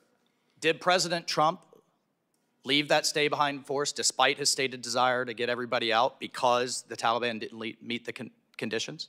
When the administrations changed hands, there were 2,500 soldiers, and that was a Did you decision- then, uh, and you've stated today you didn't advise Biden to pull everybody out, you advised him to stay. That's correct. So that's an inaccurate statement. But let's go down the list here. Let's go back to July of 2021. President Biden, there's a likelihood, the likelihood there's going to be the Taliban overrunning everything and owning the whole country is highly unlikely. Does that comport with your knowledge at the time? In fact, you, you just a few weeks later said Kabul will be surrounded in, in 30 to so I- 60 days. My assessment at the time was if we went to zero on U.S. military forces, then there was a high likelihood of a collapse of the government of Afghanistan Did. And the ANSF with the Taliban taking over. Would And- collapse. But I thought it was going to be, I, I personally thought it was going to be in the fall, somewhere around Thanksgiving. The assessments vary widely, We're talking within months.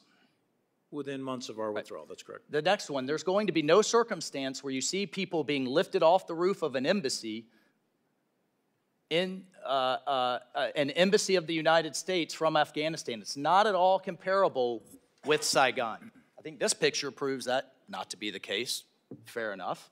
Uh, Joe Biden, July 8th, 2021. Next one, Americans should understand we're going to try to get it all done before August 31st. And if you're an American, if there's American citizens left, we're going to stay to get them all out. Was that your understanding of the operational planning at the time? To stay beyond August 31st, or were you planning to get out by August 31st? We plan to get out by August 31st. Last, but perhaps the, the most egregious. We believe about 100 to 200 Americans remain in Afghanistan with some intention to leave. You both testified today, you just testified, General Milley, that it was impossible to know the number. In fact, is that accurate?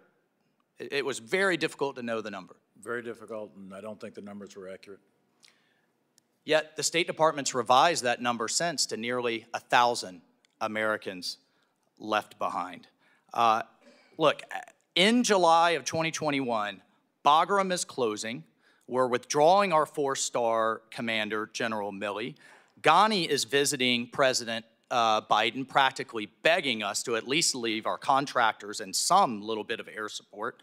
General McKenzie, you've testified that you were so concerned in July of 2021 that you put up recommendations including lily pads to get our allies out, putting pieces in place to process our SIVs faster, putting measures in place to get our American citizens out, to get our allies out, and to take care of what American military should do, which is protecting all Americans. You were so concerned in July of 2021, you put those recommendations forward. That's what you've testified today. That's correct. And in fact, also, the diplomats on the ground, Mr. Chairman, sent a dissent cable. 23 diplomats saying if you continue down this road, disaster will ensue. Was that dissent cable shared with either of you? This is a formal channel going to the Secretary of State himself. Was that shared with you as the chairman of the Joint Chiefs? Was that shared with you as the commander? I've never seen it. I, I didn't see it at the time, and I haven't seen it since, and I would like to see that dissent. I think the American people would like to see that. Chairman, here's my question for you. Do you know where the Secretary of State was on August 13th? The day before Kabul fell? Do you know where the Secretary of State was? Despite all of your concerns that State Department wasn't planning fast enough, we weren't getting our people out. According to the Washington Post, he was in the Hamptons. He was in the Hamptons on vacation. Secretary of State Blinken. I don't know, I can't even imagine how that makes our Gold Star families feel. Look, here's the bottom line, Mr. Chairman, and thank you for your indulgence. I'll, I'll close with this. The State Department, to use a military term, had its head up its rear. It wasn't planning. It, in fact, thought we could just have an embassy and the good, the good Taliban terrorists will take care of the bad Taliban terrorists. I mean, that's essentially what happened. And because of that, we didn't get our people out, we didn't get our citizens out, we didn't have the force posture, we, don't have, we didn't have the basing. We failed, and their loved ones are dead because of it. I apologize to you, to my Gold Star families. Your government failed you. There is a difference, gentlemen, and I know you both know this, in taking responsibility and accountability. A lot of people have taken responsibility. No one has been held accountable, and they deserve but better. Your government failed you, and I'll give you an opportunity in my time remaining, Mr. Chairman, if there's anything you all would like to say I'll- I'll give the publicly on the record. Time to uh, respond, but the time has expired. Thank you, Mr. Chair. The- The gentleman's, uh, they have a right to respond. Well, I'd like to take you up on that offer. I, I've talked to these families. um, And I thank you and for that. I've met the other families, um, and, and I have committed to them, and I will do so again publicly to all of you, that I will work with them to get you the answers, uh, to make sure that accountability, transparency is established. And I'm going to do that till the day I go in the grave. That's what a soldier does. And I'm not going to turn my back on these families or any other Gold Star families. There are other Gold Star families in this room right now. Jane Horton's in this room. I've been working with her for years. There's many others. And they know who I am, and I will work with them forever. They deserve accountability, Mr. Chairman, and thank you, General Milley. I agree 100%. Chair recognizes uh, Mr. Kean. Thank you, Mr. Chairman. And I want to thank our witnesses for their uh, service to our country and recognize the, uh, the Gold Star families who are joining us today. Um, General Milley and General McKenzie, you uh, mentioned today with some frequency um, about the uh, impact and lack of coordination regarding the withdrawal of U.S. troops and uh, its impact on uh, U.S. contractors, advisors, and logistics. Uh, what impact did that have on the Afghan military? So the pulling out of contractors and advisors had a profound effect on the Afghan military's ability to operate. General Milley's already talked about when we came off the Kandaks, to use a term of art, when we lost our ability to see down in the combat formations back in the summer of, summer of 20, that was a major that was a major blow. But then when we made the decision to go from 2,500 to zero, you're bringing out all your all your people that actually make sure the Afghan logistics logistics system works. Let me give an example very briefly. So before we went before we went below 2,500, if a box of ar- uh, mortar rounds went at Afghanistan, you drop it on the ramp at HKIA or maybe Bagram. There'd be a contractor there. You'd tag it. You'd have visibility on it as it went down through the Afghan system to get to the Kandak it was going to.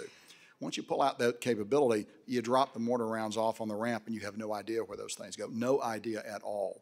They could be going directly to the bazaar. They could be going to the Taliban. You just don't see it. So that, that capability is gone. But more perniciously, perhaps, is what it meant to Afghan aviation. The one sort of asymmetric advantage that they had. So we wanted to keep our contractors in there as long as we could, but they had to come out. We tried desperately to come up with schemes to help them. We looked at long distance televideo uh, maintenance, which has been tried by airlines in the United States with indifferent success in a technically literate population. So we knew we were swimming upstream with this. So it, I cannot, uh, it's difficult for me to overestimate the negative, synergistic, pernicious effect drawing down these capabilities had on the Afghan military. that, was, that was obvious for, for people to estimate in advance, and it was obviously what happened on the ground. And this was foreseeable. This was not a surprise. Yeah. And, and so did the U.S. ever come up with a plan to properly make up for the loss of these key capabilities? We tried, you know, what I'd call heroic measures. We had a forward, over-the-horizon, you know, um, security cooperation office in uh, in one of the Gulf countries, but it just doesn't work. You can't. You have to be there. You got to be with your partners. And uh, the, the, degree to which you're not with your partners, it doesn't mean you're fighting for them. You're not doing that. What you're, helping, what you're helping them do is manage complex logistics systems and, and ensuring that graft and corruption isn't overwhelming. But you pull that all off and you lose that visibility and, use the, and you lose the ability to help them as well. And so that was, I think that's a significant factor in the collapse of the Afghan military in 2021. Um, was there any long-term planning for how the U.S. would be able to continue to support a longtime allies in the Afghan military at all? We did, but again, you know, so you work under the conditions that you're given to operate, which is there's not going to be anybody on the ground. So, you know, you're going to, ideally, in a perfect world, there'd be 650 U.S. forces guarding the embassy and a handful of people in the embassy that might be able to do some limited, limited form of security cooperation. But nothing at the ministerial level, even, and certainly nothing at the corps or the formation levels that's there. So, really, very hard to see a way forward. Was President Biden ever informed that the U.S. military hadn't yet figured out how to provide logistics and maintenance support for the Afghan military? That's a question I can't answer. I just don't know the answer to that. General? Yeah, I think there were, there were plans presented. Uh, they certainly weren't uh, optimal, as Frank just pointed out, but he was, he was witting of the contractors uh, coming down and the potential impacts, uh, and that the mitigations, the over-the-horizon mitigations and remote maintenance, et cetera, but I think everybody recognizes general consensus that nothing's going to replace uh, the contractors on the ground. You're, you're looking at about, if, if, my numbers are correct from my head, I want to say there were about 20,000 or so um, over the summer of 20. That comes down to about 10 maybe uh, in, into 21, and then you start glide pathing into maybe eight or nine. But there's still a significant contractor capability there. uh, until we come out in July, in the first or second week of July. And that's when it basically goes to zero. And the contractors aren't going to stay unless it's American military forces to protect them. And these are DOD contractors, US, mil- US persons, right? And then there's contractors from Europe, and then there's contractors that are local. So the number of the contracting pieces are, is a really significant factor to the collapse of the ANSF, in my view. Given the amount of time that's passed since the American withdrawal, in retrospect, are there any actions that you wish that you would have taken that may have prevented this catastrophe? I think the, the for me, the, the biggest thing is to uh, synchronize the, Af- the the, uh, withdrawal of the U.S. military with the State Department, and I'm an advisor, not a commander sort of thing, and, and, and it's to, to, I mean, we, we said it over and over and over again. There's probably um, other things, I guess, that could have been done. Um, That's my biggest regret, is I go back through all these meetings, et cetera, um, on that whole issue of the State Department coming out with the military in the, s- in July, really, is what we're looking at.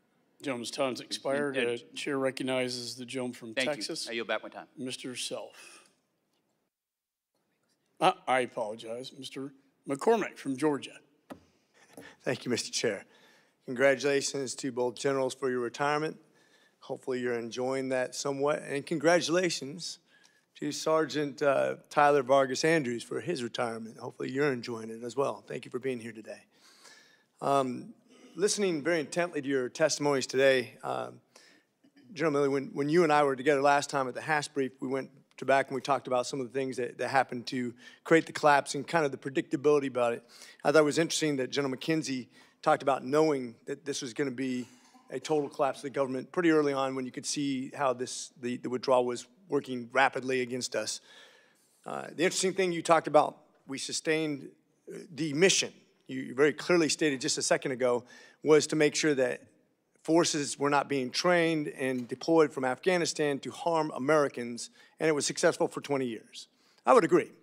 Uh, when I was there in 2016, uh, there were very few American casualties. It was a relatively peaceful place. I mean, the Afghans were still paying the price. There was a lot of violence, but, but they weren't training bad guys.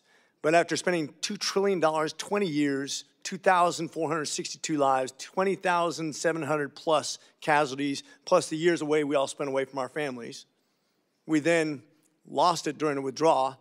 And now, how many billions of dollars were left behind for them during that, that withdrawal? How many billions, gentlemen? 7.2 billion left behind for the enemies to use. And how many training bases are over there now training enemy combatants against the United States? How many bases, approximately? That I don't know, uh, and it would be an intelligence question for the intelligence community. So the non-classified brief is about 27. So 7.2 billion dollars worth of military gear, some of it brand new, and 27 bases to train enemy combatants now. So I'd say we failed our mission, and, and we'd already paid the price. That's what that's what irks me, is my friends that are no longer able to come home, my friends who have lost lives and limbs and time away from their family, uh, the money that we spent, the time we invested just to give it back to an enemy that now we're not fulfilling the mission we set out to do. And we did fail miserably, in my opinion, especially on that one day, the withdrawal. Uh, to hammer that home, the example that we had, which Sergeant uh, Vargas Andrews so succinctly said during his testimony, is that he testified before about the Kabul airport bomb, uh, bombing. In his testimony, he informed the committee that his team was tracking a suspected terrorist who aligned exactly with descriptions given by Intel and is believed to be the Abbey Gate bomber. He further testified that after being denied initial permission to engage the suspect, he elevated the issue to his battalion commander, Lieutenant Colonel Brad Whited. According to Vargas Andrews, when asked if they had permission to kill the suspect, Lieutenant Colonel said, I don't know. He's now a colonel. I don't understand where we've gone wrong, that we don't have a mission statement that allows a lieutenant colonel in charge of very capable people to make decisions that would save lives and limbs, and then they get promoted for it. I don't understand where our accountability went, not only in our mission, but our withdrawal, and even a mission statement for that very day. Can we speak to that, please? Because if we don't have accountability, then why are we here? Because if we didn't learn our lessons from what we did wrong, why are we here? And if we're not answering to the people who lost lives and limbs, why are we here? I can speak to the rules of engagement piece. General McKenzie's already spoke to it. The standard rules of engagement that you're familiar with and that Corey Mills is familiar with, and uh, former Colonel Self and everyone, you know, Colonel Waltz, et cetera. It's positive ID, hostile act, hostile intent, you pull the trigger. You don't have to ask permission of anyone. Every single soldier, sailor, airman, marine, ship's captain, or fighter pilot has the right to self-defense. And if you perceive, if, if it is your understanding, in that moment in time, whether it's Afghanistan or anywhere else, by the way, except continental United States, if you perceive those conditions to obtain, then you are fully empowered by law to use lethal force if necessary. So- Now, so- having said that, I can't speak, and I don't actually know the specifics. Well, so you don't know, but here, here's the funny thing, sir, Yeah. is that neither did the lieutenant colonel. I don't know. And, and I would say that if I was sergeant, and I'll, I'll finish my piece, sir. Congressman, I know the rules of engagement. I, I, so do I. Now, I don't know the I get you. specific incident Well, well, let me tell you what we. I'm, I'm telling you what this, the testimony was, and, and here's the problem: is in our litigious society where I've seen soldiers and sailors and Marines get in trouble for making the wrong decision when they ask their commanding officer, they expect a clear answer, not "I don't know," that costs people lives and limb. And uh, I'll yield with that. Thank you. my, my guess is that Congressman Waltz, when he was there, my guess is that perhaps uh, then Sergeant Mills or others that are on this committee engaged the enemy with lethal force and we're not asking permission. I don't know the specifics of that particular case, but I know the rules of engagement are clear and they're trained. Uh, And I would have to personally interact with Sergeant Vargas, which I have not done yet and I want to, uh, or Colonel Whitehead, I think his uh, name is, or the company commanders, et cetera, to, to find out what did break down. Obviously, something broke down. If Sergeant Vargas had a positive ID on a known enemy target, and that enemy target was hostile act or hostile intent, the rules of engagement allowed it. Gentleman's time has expired. Mr. Self is recognized. Uh, Thank you, Mr. Chairman. Uh, Thank you for being here and your testimony. General McKenzie, uh, before I go there, I was going to ask the, the question on the ROE because we've had several conversations and I was still unsure as to who had the ultimate authority. Thank you for that answer. One has to wonder, though, if he had taken the shot, uh, in ROE, in my experience, my 25 years, deployments on four continents is absolutely crucial. If he had taken the shot in today's military, one has to wonder what would have happened to our young sergeant. But General McKenzie, my question to you, um, on August the 26th, at a press briefing, and I'm trying to sort through the dates here, exactly what your intent was. Uh, you said that you had a common purpose with the Taliban in the evacuation. That was on the 26th. Now, you've testified here today that you were also telling people that we had to get out by the 31st or we were going to be fighting the Taliban. Can you just walk me through those five days later? You thought we would be fighting the Taliban from a common purpose on the 26th to full scale combat on the 31st. I'm trying to, what was your intent Sure. between so, those uh, five days? Certainly. Let me just briefly talk to the ROE question for a moment. So between 16 and 26 August, three teams did take lethal shots with this ROE, and nothing happened to the individuals that took the shot. So let's be very clear when Thank we talk about this. Uh, Three people applied the ROE with success and with lethal effect. So we had an agreement with the Taliban, we were going to be gone by the 31st of August. That was, a- a- we negotiated that at a very high level. That was not a military decision, uh, but it was rather a policy decision by the president. We were going to be out of Afghanistan. And it was clear, based not only by vo- voluminous intelligence reports, that if we remained beyond the 31st, not only would we be fighting ISIS-K, but we'd be fighting the Taliban as well. That was, that was very clear in the intelligence reporting that we were seeing. So when I talked to the Taliban in Doha and in the days afterwards, it was clear they wanted us to leave. We wanted to leave. Those were the orders we had, was to get out. So we did have a common purpose, and that common purpose was leaving Afghanistan. The non-combatant evacuation, by definition, is an operation where you're leaving. So yes, we shared a common purpose. I don't trust the Taliban. I don't like the Taliban. It's a highly transactional agreement, but it was designed to let us get out. And I will tell you that we certainly did not outsource our security to the Taliban, but I am confident that we would have had more Abbey Gate attacks had we not negotiated these limited agreements with the Taliban uh, for some of the external security that they provided. Yeah, I was going to ask the two of you your assessment of the Taliban because most people just refer to it as Doha, but I always want to bring to people's attention the formal name of what we refer to as Doha. The agreement for bringing peace to Afghanistan between the Islamic Emirate of Afghanistan, which is not recognized by the United States as a state and is known as the Taliban and the United States. That's the formal name of this agreement. Uh, I have a copy here, and I've been following your testimony uh, uh, closely as you've done it. Uh, I use the, the, the term naive with the ambassador Khalilzad uh, when he testified before this committee uh, just several weeks ago. I think the entire agreement was, um, was naive.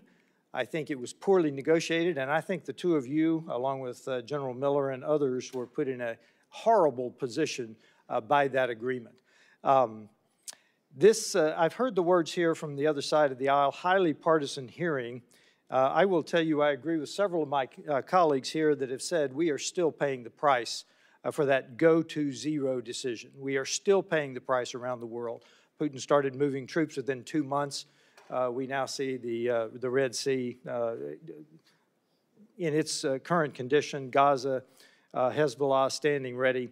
Um, I will tell you, I, I think, and I'm going to, uh, I, I, think what we engaged in, General uh, Milley, was not so much defending our nation, because I believe the mission of the United States military is to go and break things when our national interest requires it. Uh, 20 years there, we should have said, uh, we're leaving. If you do it again, we'll come whomp you again. We'll break things in the interest of the United States again. And my last point is I'm glad that one of you mentioned uh, the sanctuary because that was our fatal mistake in Vietnam, uh, the sanctuary across the border in Laos and Cambodia, and it proved a fatal error in, in uh, uh Afghanistan and Iraq as well. There was a, there was a sanctuary, cross-border sanctuary. Uh, last question, real quickly. Uh, Qatar is now playing a part both in Afghanistan, getting our folks out of Afghanistan, and in Gaza. Was Qatar a part of any of your discussions before this? Was, did it play a part? It was principally where we went to negotiate with the Taliban. It's where they hosted them. Uh, they did not have a significant effect beyond that. I will say, as we left, uh-huh. They began to flow, uh, they, they flew people back into Afghanistan. Qatar does a number of things across the region, as you're aware. Right. They walk a they walk a very tight, uh, thinly defined line between a number of competing interests, and they were certainly active in that at the very end of the Afghan engagement. I don't think the line is as fine as you make it. I yield back. Gentleman's time's expired. Uh, chair recognizes Mr. Hill. Gentlemen, thank you for voluntarily coming before the committee, and we're grateful for your 86 years of combined service in uniform to this country, the country that you love.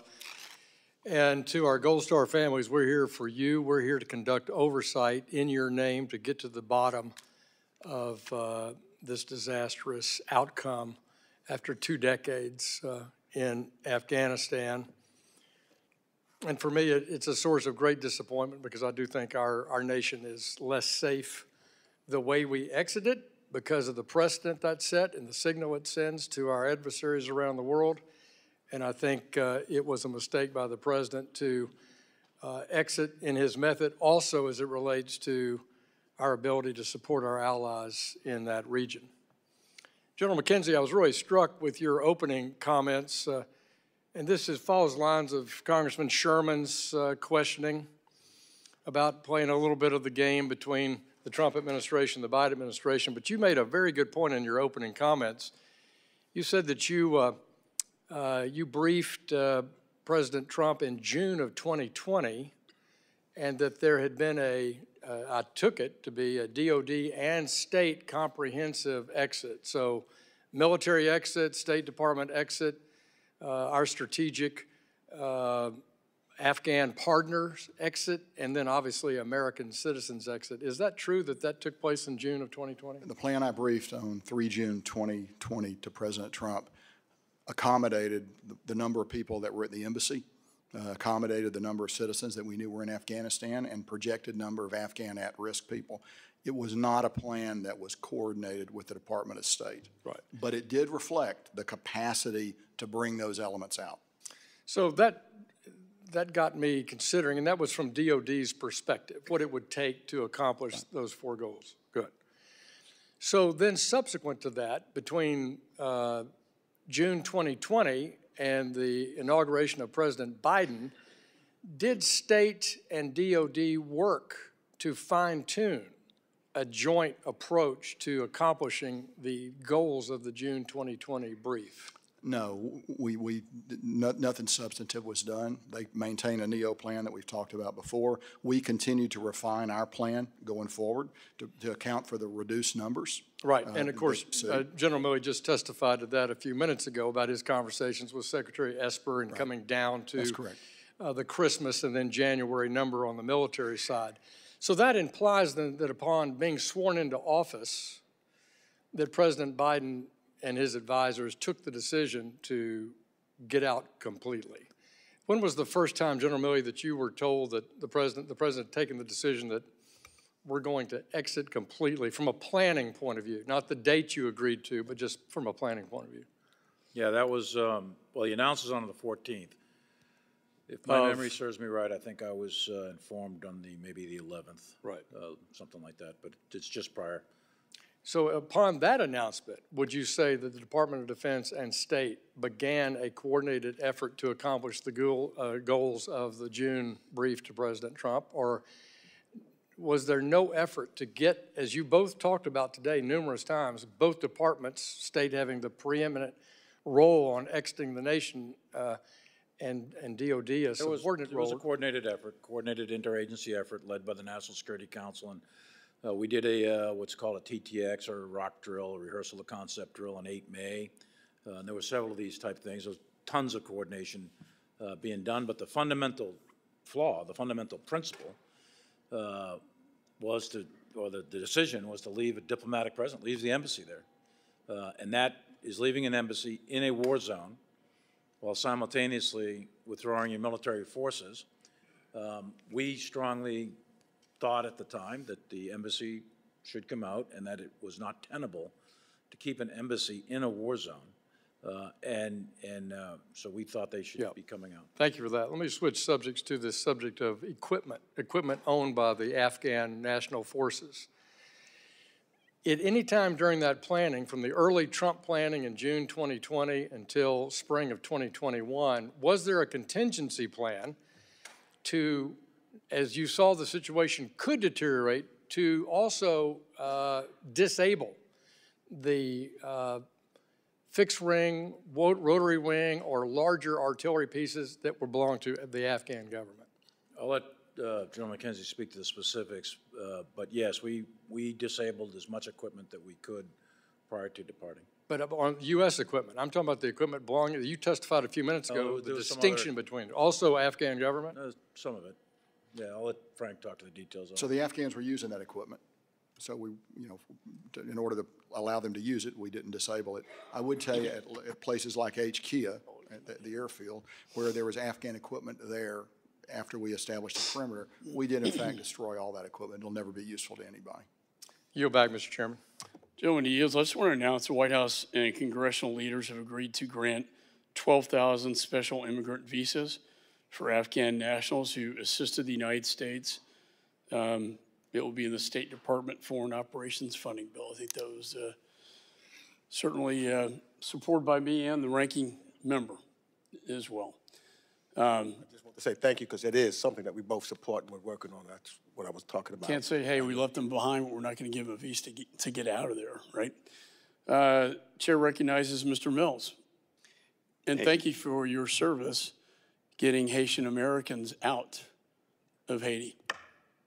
Well, it's an honor to be able to do this, to be able to help Americans out of Haiti, as we did with the 255 that we got out of Israel and as we did with the Americans out of Afghanistan. So there is a pattern of abandonment that has existed throughout this administration that I'm going to call attention to immediately. I want to thank the Gold Star families who I consider to be friends at this point and who we've had many long-standing conversations with. And I can tell you, Steve, that many of us will be looking to get all charges dropped, which never should have been levied against you to begin with, for a grieving father who lost both of his sons, who understandably would be upset when there's still been no accountability. Responsibility, people's taking a lot of responsibility. Oh, it's my fault, it's my fault, it's my fault. These same individuals are continuing to get promoted. These same individuals are continuing to serve. These, these are people who are allowed to serve after making critical errors that cost lives, but people who refuse because of religious and medical exemptions are being purged out of our military who are willing to serve. Think of the irony of this. Now, I do want to thank both of you for your service. I'm going to ask a series of rhetorical questions, but they're needed in an effort to try and base a context of my further questions. Uh, Mr. Milley, can you tell me exactly kind of what your description of your job was as chairman of the Joint Chief of Staff? I mean, it's codified in law that chairman of the Joint Chiefs of Staff is the senior military advisor. He's not in the chain of command, military advisor to the President, Secretary of Defense, and National Security Council, uh, and by extension to Congress. Um, and it, it, his, his job or her job, and it's to be the senior military advisor of a group of people called the Joint Chiefs of Staff. We are all the chiefs of the individual services. You represent the Joint Chiefs and you represent their advice to the President and the Secretary of Defense. Uh, and if there's any dissenting advice, you give that as well. But tra- traditionally, your, An your, your advisor. role is an advisory It's an advisor. It's an And advisor General McKenzie, your role as commander of CENTCOM is actual Ground Force Operation Command. Is that correct? Joint Force Operation Command. Joint I'm in Force the chain of Operation command. I'm responsible for Which means at the end that of the day, whatever happens on the ground, the buck stops with you, correct? That's correct. So I'd like to ask a question because I understand the advisory role, and I think that General Milley's made it very clear the direction in which he had advised, and it was very different than what this administration has done, and I think that you have testified to the same. But I do have some issue with some of the things that was said. I think that when you look at the Secretary of Defense, he has made comments before this committee to say that there was no actionable or credible intelligence that was provided that could have led to the understanding of when the suicide bomber was going to do this. However, I think you've all read the day-to-day intelligence reports, as have I, in a classified setting, that would speak very much to the difference of that, even to the extent and, and the clarity of saying, moving into this location of this city, planning is commenced, planning is finished, execution is imminent. And these are the day-to-day data logs that we all saw, which will prove that there was credible intelligence that could have been rendered on that. Not to mention the fact that there was in the State Department, who I put a tremendous amount of responsibility on, and have requested multiple times for Anthony Blinken to go ahead and step down, the 23 dissent cables, which warned early on what would occur in this. Now, my only real severe issue that I've had as of late, General McKenzie, is that you've made multiple comments in the media and otherwise to the extent that a brave hero, in my opinion, who has sacrificed his limbs for this country, Sergeant Tyler Vargas Andrews, that his recollection of the events that took place on August 26, to quote you, sir, that he was not recalling this correctly. And secondly, you said that you claimed there was no bolo that would even meet the description. Now, this is the rhetorical part of this. Where were you on August 26, sir? Tampa, Florida. Well, I can tell you where Sergeant uh, Vargas Andrews was, and he was sitting at the gate. And I would trust on ground information far more than someone who's sitting 9, 10, 11,000 miles away, who's potentially watching from ISR and potentially being briefed by the commanders on the ground. That his testimony, which has been corroborated, by the way, by multiple Marines who have testified before this committee, that the events that he has actually made common and made clear actually did take place. And we're fortunate enough, General McKenzie, that the gentleman who actually endured the most from this, who was on the ground, and ground truth matters, as we all know, is sitting right there. So would you like the opportunity to tell Sergeant Vargas right there that he is not recalling the incidents that occurred on August 26 correctly, that he and his fellow Marines are not actually the ones who said there was a bolo of this description, that he is incorrect and his assessment, are, which is putting into question his integrity. Do you want to face him and tell him that before him now? I don't want to face him and tell him that. I want to say that the battlefield is a very complex place. There were a lot of threats that were flowing around out there that day. I honor his service. I regret he was injured. Have you spoke to him since then? I have not spoken to him So you then. obviously haven't honored him, nor has anyone else come to even question him about what took place, even after our committee a year ago. I So the believe bottom that line- you are Sir, I'm wrong. still I talking. believe he has Sir. General, the bottom line is, is that he deserved that respect like these Gold Star families deserve that respect. And to question his integrity, to question what took place on August 26th that he observed from his own eyes and sacrificed his limbs for, that you're unwilling to actually face him and actually tell him the same thing that you were willing to say to MSNBC and all the rest, which is that his recollection is incorrect and that there was no such thing, is shameful. With that, I yield back. Gentleman yields. My understanding is the two generals have met with the families, that they are willing to meet with uh, Sergeant Tyler Vargas Andrews. And you deserve that, sir. Yes, you do. Uh, With that, uh, Chair recognizes Mr. Lawler. Thank you, Mr. Chairman. Just to follow up on my colleagues' uh, questions uh, here. Uh, General McKenzie, when did you retire? Uh, 1 April 2022. Okay. And General Milley, when did you retire? I came out of my duty position on the night of the 30th of September, and I officially retired 1 November. Okay. And so at any point uh, between the disastrous withdrawal in Afghanistan and to today, have either of you spoken with Sergeant Vargas Andrews? I have not personally spoken to Vargas. I No, want to, I I want to speak to him, I but have I have not. not. That's correct. Okay. He testified before this committee a year ago. Are you both aware of that? I am. Did you watch his testimony? I did. I did not. Did you get a report on his testimony? Yes, I did. And at no point did you feel the need to reach out to him or ask for a meeting based on his testimony? For me personally, that would be inappropriate because while I was in uniform as chairman, uh, there's an active investigation that was going on. Sergeant Vargas was part of that. Uh, and it'd be very inappropriate for me to meet with any of the potential witnesses during an active investigation. And from your standpoint? And the CENTCOM investigation has actually been reopened, so that's still an active investigation. So no, it would, I would not, I would not have sought Okay, to so reach out to based on an active investigation, how are you going to meet with him today if We're that's not the on active standard? duty anymore. So The, that CENTCOM investigation's been closed. It has not yet Okay. been briefed to the families, but that investigation is no longer active. Okay, Plus, so we're diff- a- we're- as of today, you're both going to seek to meet with him? Yes, but also, we're in different statuses now. So we're no longer on active duty. He was a commander, I was a chairman. And you don't want unlawful command influence on an active investigation. So that's while in uniform. Now, we're not in uniform, and I want to meet with Sergeant Vargas. Okay. Uh, With respect to uh, the decision by President Biden to announce uh, September 11th as the deadline for full U.S. military withdrawal, uh, was there any tactical or military reason for that date? Not that I'm aware of. Not that I know. Okay, so was it purely political and uh, from the standpoint of uh, a a symbolic date, from your understanding? I'll be candid, I don't even know where or who made the decision of the 11 September thing. Um, I I frankly thought it was actually inappropriate at the moment in time, but it was very rapidly changed to the end of August. And you were never involved in the decision to do that? Not, not to pick the date, no. Okay. Um, General McKenzie, you stated in your opening statement that you and you alone are responsible for the military operations uh, that occurred during the withdrawal. Um, Again, I ask, did you set the date for the withdrawal? No, I did not. Did you make the decision to bring our troop level to zero? I did not. President Biden is the commander-in-chief. Did he make those decisions? Yes, he did. So is it your position that he bears no responsibility for the aftermath, that you are the only one that bears the responsibility for the military operations? So I was responsible for military operations. The Commander-in-Chief is responsible for those and all the other operations, to include those of the Department of State, all the other appropriate cabinet agencies. But I. But you report to the commander-in-chief? I do. Okay, so at the end of the day, is he responsible for the decision to set the date and to set the troop level to Yes. zero? Yes, So he bears responsibility, not just you? that's correct. Okay.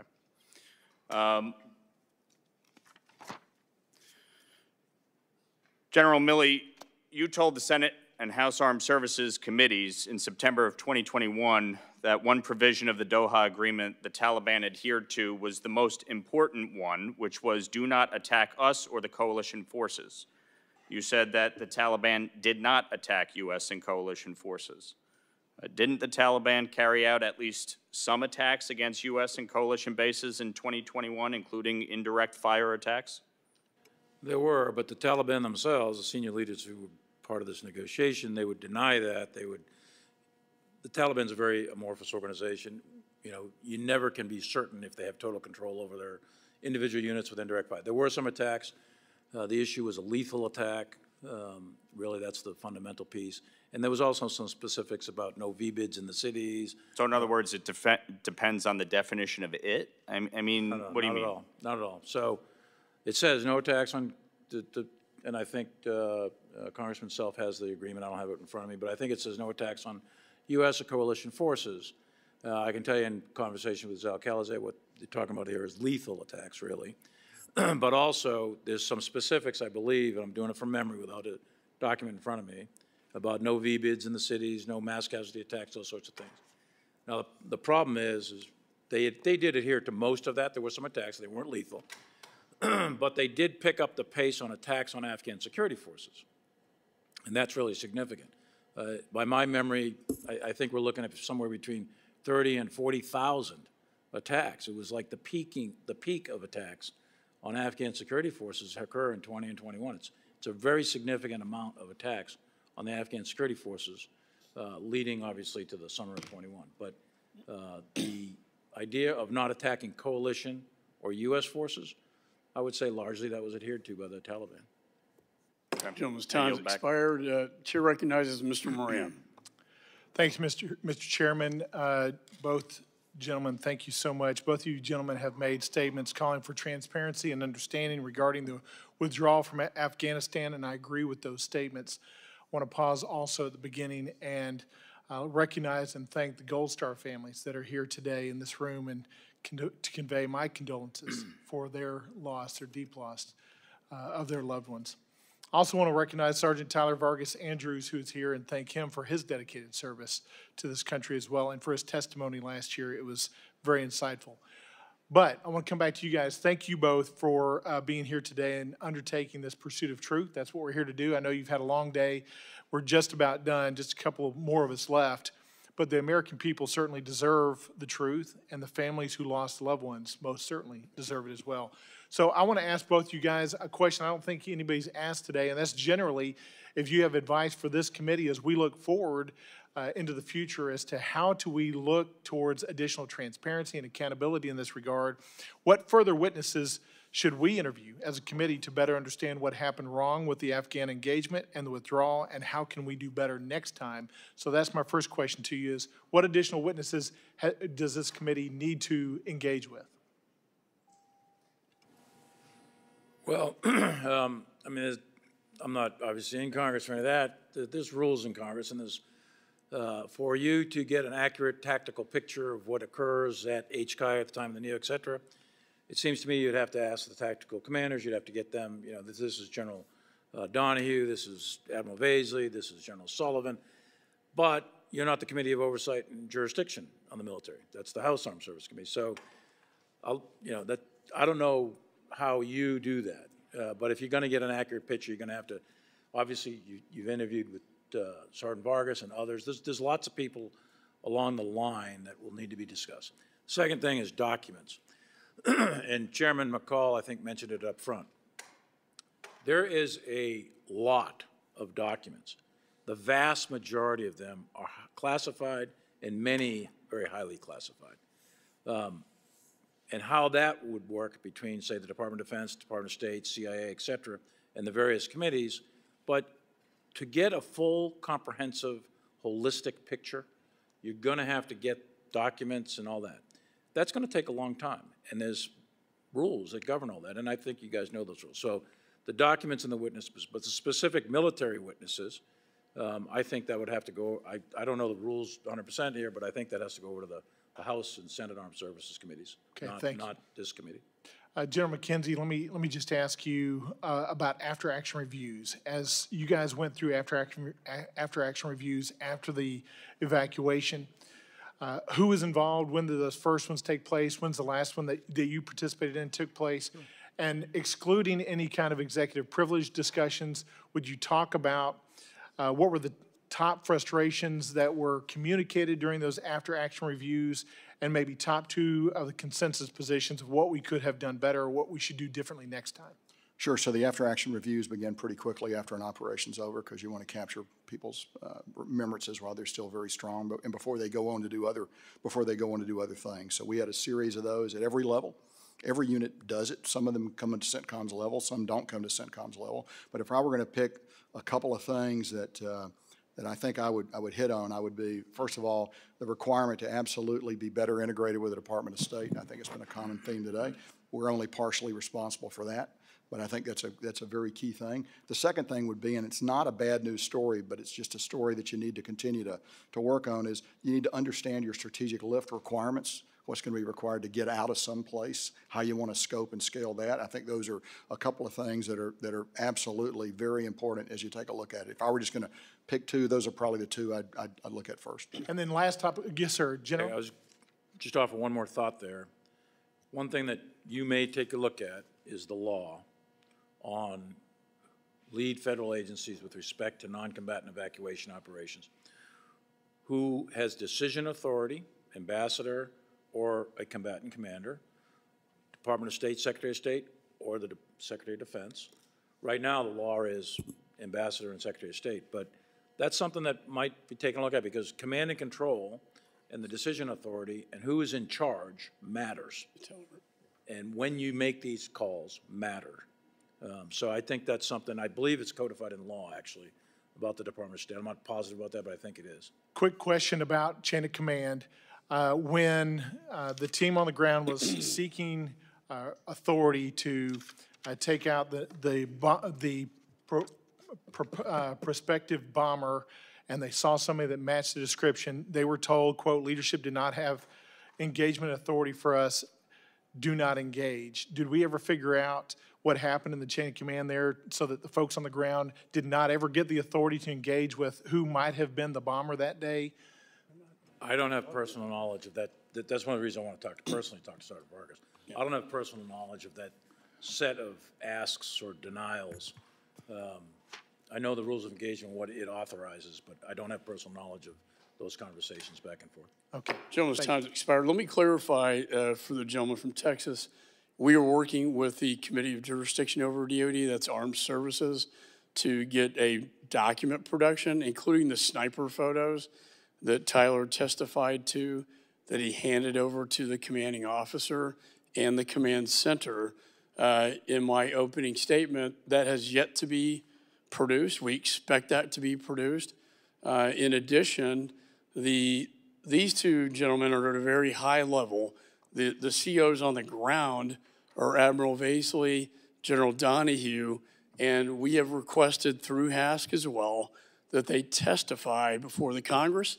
We will vigorously pursue this, and if we have to do it with a joint hearing, which has been done before, of arms, you know, armed services and foreign affairs, uh, that is our plan. And we're not going to give up on this till we get the answers. And uh, we do have a classified briefing, I want to say, uh, after this. So I want to get through this. We have Mr. Burchett. Thank you, Mr. Chairman. Like you, uh, my father was a World War II veteran. Dad was a Marine, and he told me the only thing generals ever gave him was a hard time. So I fully expect to get that from you all. You don't need to write that down, but that's just that's just me personally. Um, this is for either one of you. Marine, World War II, and he said the same thing. Do do what? That my father was a Marine in World War II with the Fourth Marine Division. That Said was the same First thing. Marine Division. Uh, his colonel was Chesty Puller. So thank you. Um, this is for either one of y'all. The Taliban was in violation of the Doha Agreement. Why did we remove our troops?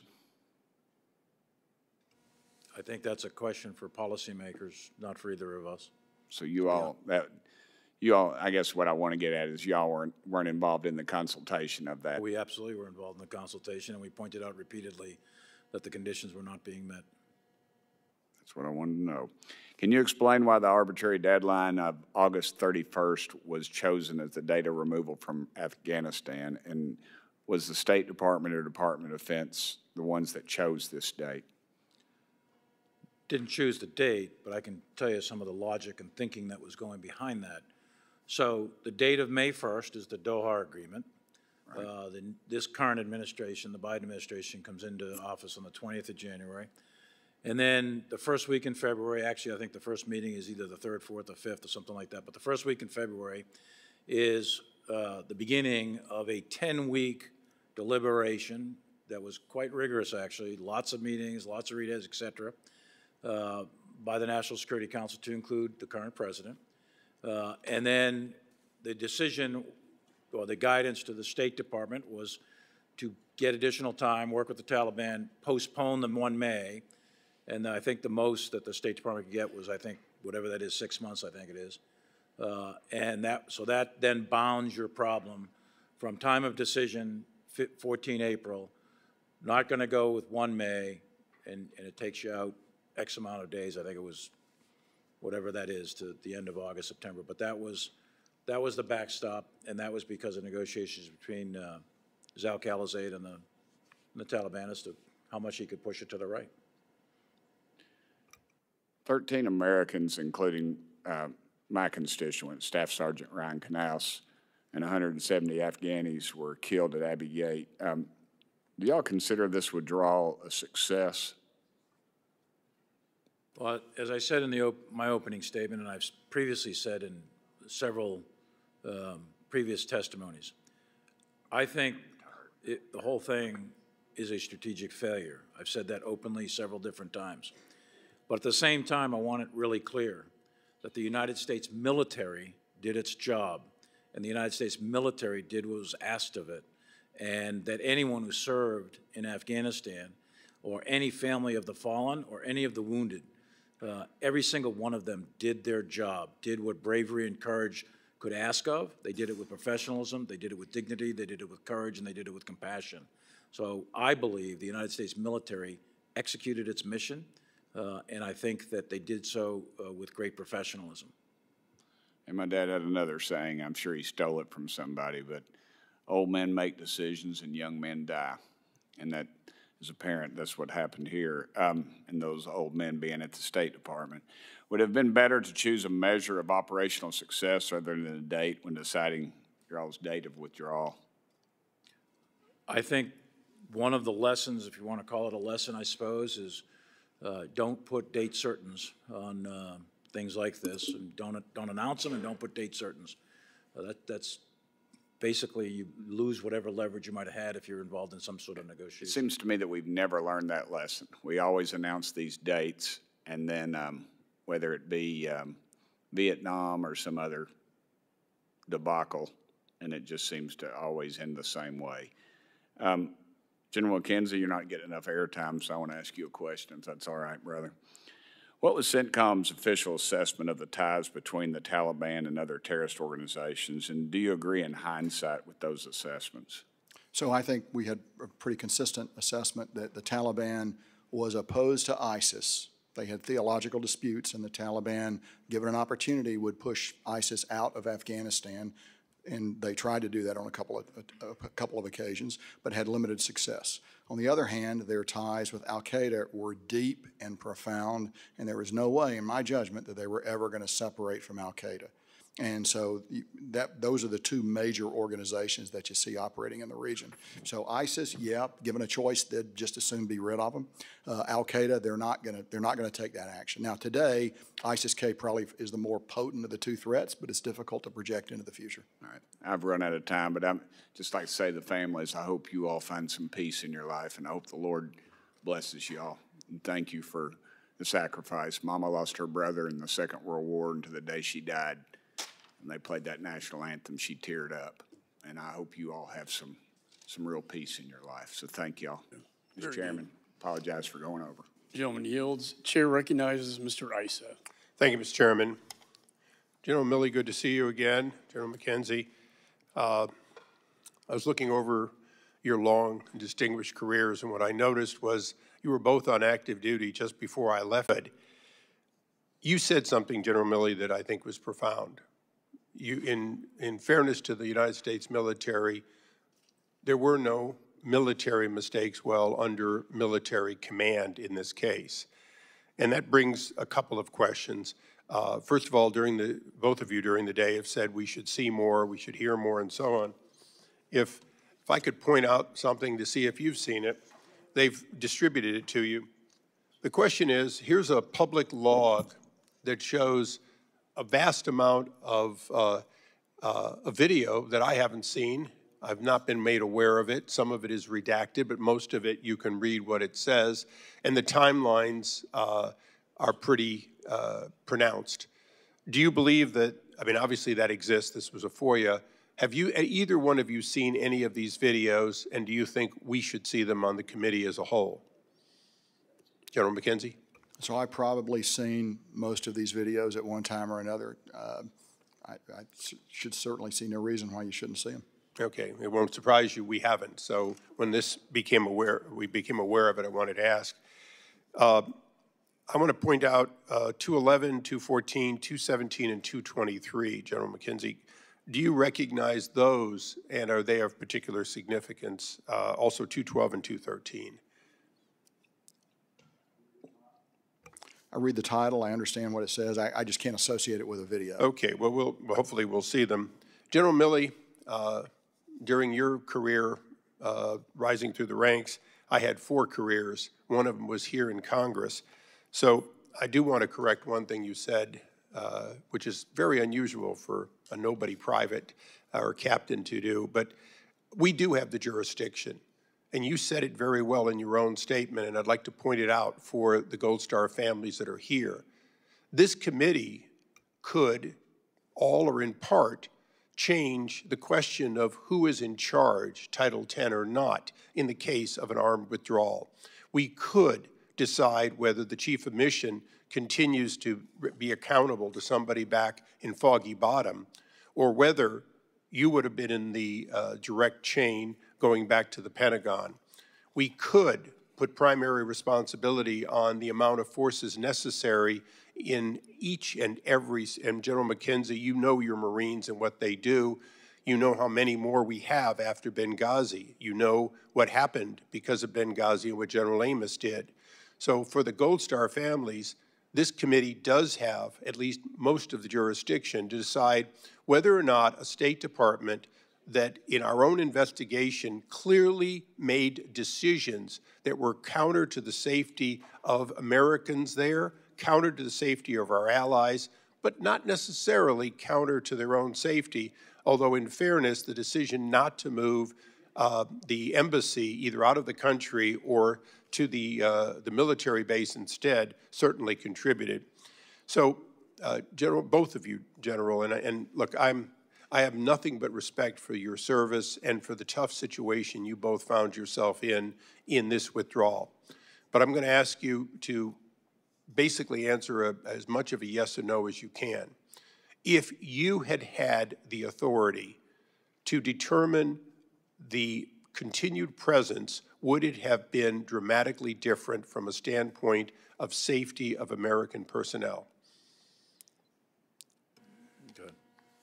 Let me make sure I understand the question. You're talking, If, if you'd been told that we were withdrawing, Right. would you have done it differently as a military man rather than the way it was done? I, I would have begun sooner. Would have Much begun sooner? That's probably the principal thing I would have done. I would have begun much sooner than when we actually did. And I would have, same, I, I would have brought the, the embassy and the State Department out with the military by the middle of July. That, that, that is what, if there was one thing, a do-over, you don't get do-overs in this stuff, but if there was a do-over, that would be it. And, and that, that point was debated and discussed and so on and so forth. But that, that is a, yes. to answer Last question, uh, hypothetical Mr. Chairman, if you, I may just, if you had been given the opportunity to determine that you wanted Afghanistan to stay free and independent of the Taliban, would that have been possible at, during your chairmanship?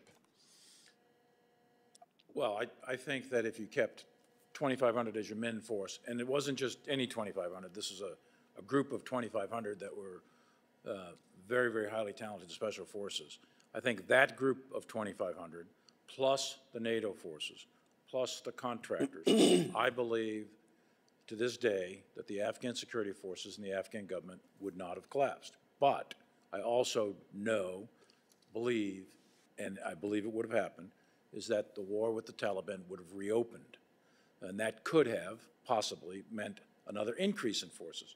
So if your purpose, the, the political strategic purpose uh, made by policymakers is to withdraw, then the idea of keeping 2,500 with the possibility of even increasing is obviously at cross purposes. So if, if I could surmise, or, you know, summarize what you said, if we had had the same attitude in Afghanistan that we have till today in South Korea, that in fact, if there is an adverse combatant force that is unrelenting, you keep sufficient forces in order to prevent them from prevailing, even if it's more than half a century.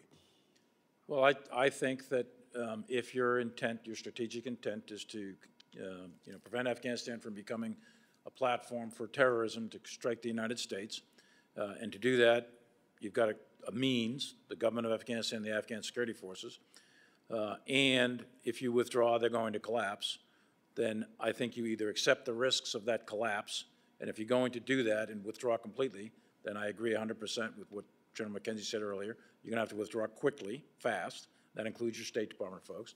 Uh, or make a decision to stay. It's a binary choice there. Uh, there's not a lot of gray in between. Uh, and I think that if, uh, if you decide to stay, there's risks associated with that, and the, and the likelihood that war again would start with the Taliban. And the Marines Gentleman's concur with has the, Marines expired. Uh, concur with the Army in this case? Uh, Gentleman's time has expired. Ms. Miller Meeks is recognized. Oh, I didn't realize. Thank We've you. been keeping, keeping a five-minute I thought it was done. I thought it was, Okay. I thought it was the All right. closing act, Chairman. I'd like to thank Chairman McCaul for the opportunity to waive on this hearing today and to our witnesses Thank for you for testifying before the committee and for the Gold Star families that are here. The reason I wanted to be here at this hearing is that I'm a 24-year military veteran, Vietnam era veteran. My brother served in Vietnam. My husband is a 30-year Vietnam era veteran as well. My father was career Air Force. Six of his eight children served in our military. The botched withdrawal from Afghanistan in August of 2021 was the single worst foreign policy disaster of the United States that has not been witnessed since the fall of Saigon. And I mentioned this at a Homeland Security hearing in June of that year. This completely preventable catastrophe resulted in the deaths of 13 U.S. service members, one of which, including uh, Corporal Daegan Page, grew up in Red Oak, Iowa, and 170 Afghans.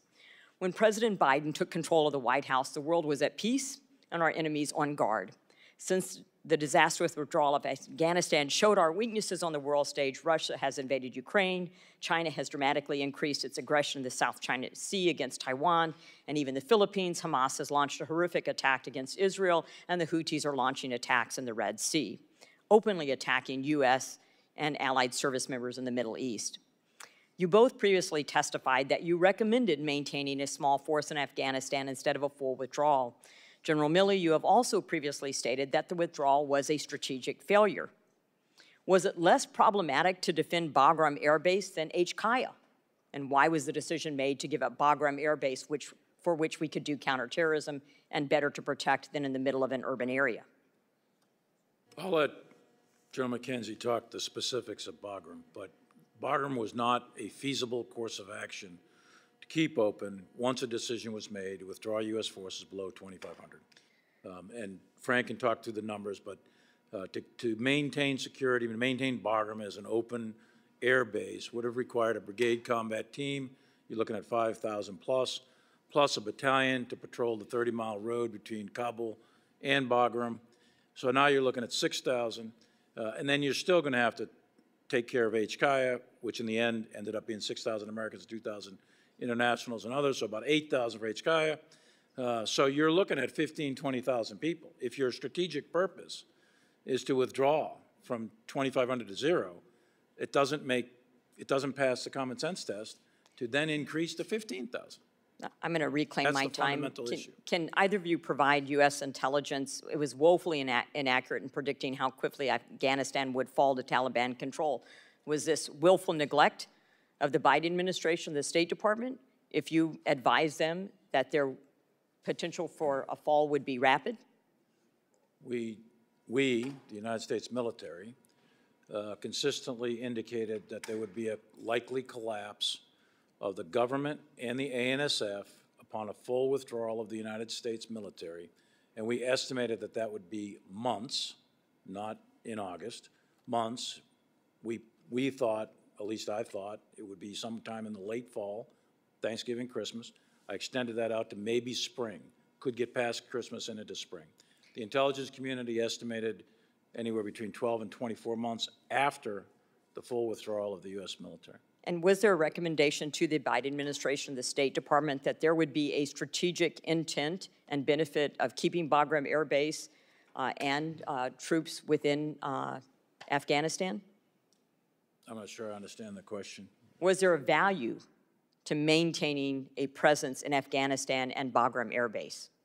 Well, I thought that keeping, you'd have to have at least 2,500 if you're going to keep Bagram. So I thought, uh, personally, I thought at the time, my assessment at the time, and I've said this publicly before, uh, that keeping 2,500, the value was to buy time to achieve the conditions of Doha and a negotiated settlement between the Afghan government and, and Presidents are in positions to make very difficult decisions.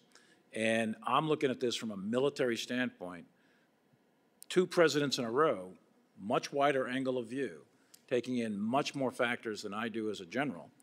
Uh, they both decided the same thing, just with different timelines. Well, General Milley, with all due respect, yeah. even as a nurse in the Army, I had to push back against majors and lieutenant colonels and colonels and generals who were recommending things that were in my in our patients, yeah. not in their best interest, and would have cost them their lives. Right. We expect to have pushback from the military when a State Department or a commander in chief is doing things that are not in the best interest of this country and in the best interest of our service uh, men and women. For many heated, so, lengthy uh, let me just end here with recruitment down. Will we have to wait until November or January 2025 to finally get accountability for the disaster? We have to go to withdrawal? classified briefing. Please make this short. It's been a long day. Wrap up your question. I'm sorry, I just did, Chairman. I just said, well, we have to wait until November or January 2025 to finally get accountability for the disaster, disastrous withdrawal from Afghanistan. With that, I yield back. Thank you. I'd like to recognize the ranking member for a closing statement. Again, I want to thank uh, former chairman of the Joint Chiefs of Staff and General uh, Mark Milley and former commander of the United States Central Command, General Kenneth McKenzie Jr., for testifying before Congress again and providing vital insight as this committee continues to use its oversight authority on Afghanistan, including its, its withdrawal, but including our oversight.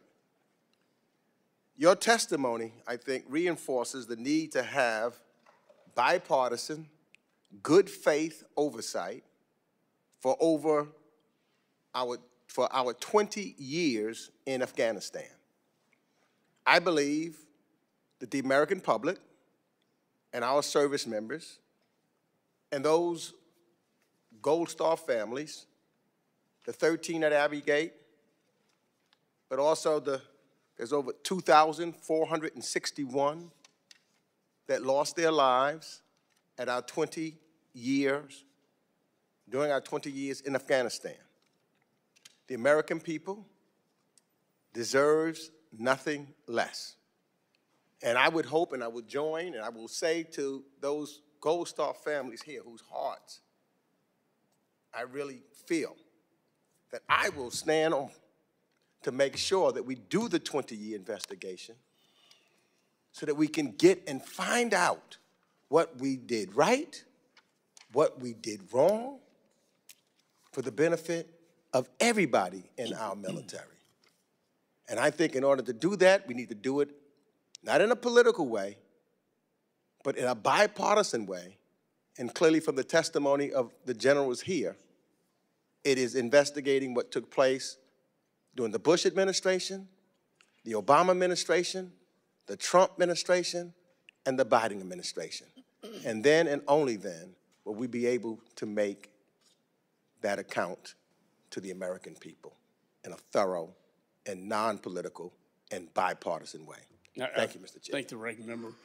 We did establish the Afghan, Afghanistan War Commission on the National Defense Authorization, and it's a board of highly esteemed uh, people, just like um, Ambassador Ryan Crocker, who knows uh, these issues probably better than anybody. Um, This is not a partisan group. I look forward to their recommendations. With respect to this investigation, we are focused on the evacuation. And so I do look forward to working with my friend on lessons learned and legislative recommendations to move forward to ensure that this never happens again. I think as we've heard today, it was the lack of a plan by the State Department and the failure to timely execute the plan that led to the chaos at HKIA and led to the suicide bomber, the Abbey terror attack. Um, that truth will come out. We will get the commanding officers before this committee, and we will get the production of the sniper photos that Tyler took, and we will get it soon. And so, uh, with that, we're going to stand in recess as we move to the classified space to have the classified portion of the briefing. I apologize if I was a little impatient. It's been a long day. I appreciate your patience, but we really need to get into the classified space before the votes. Uh, thank you so much. We'll see you soon.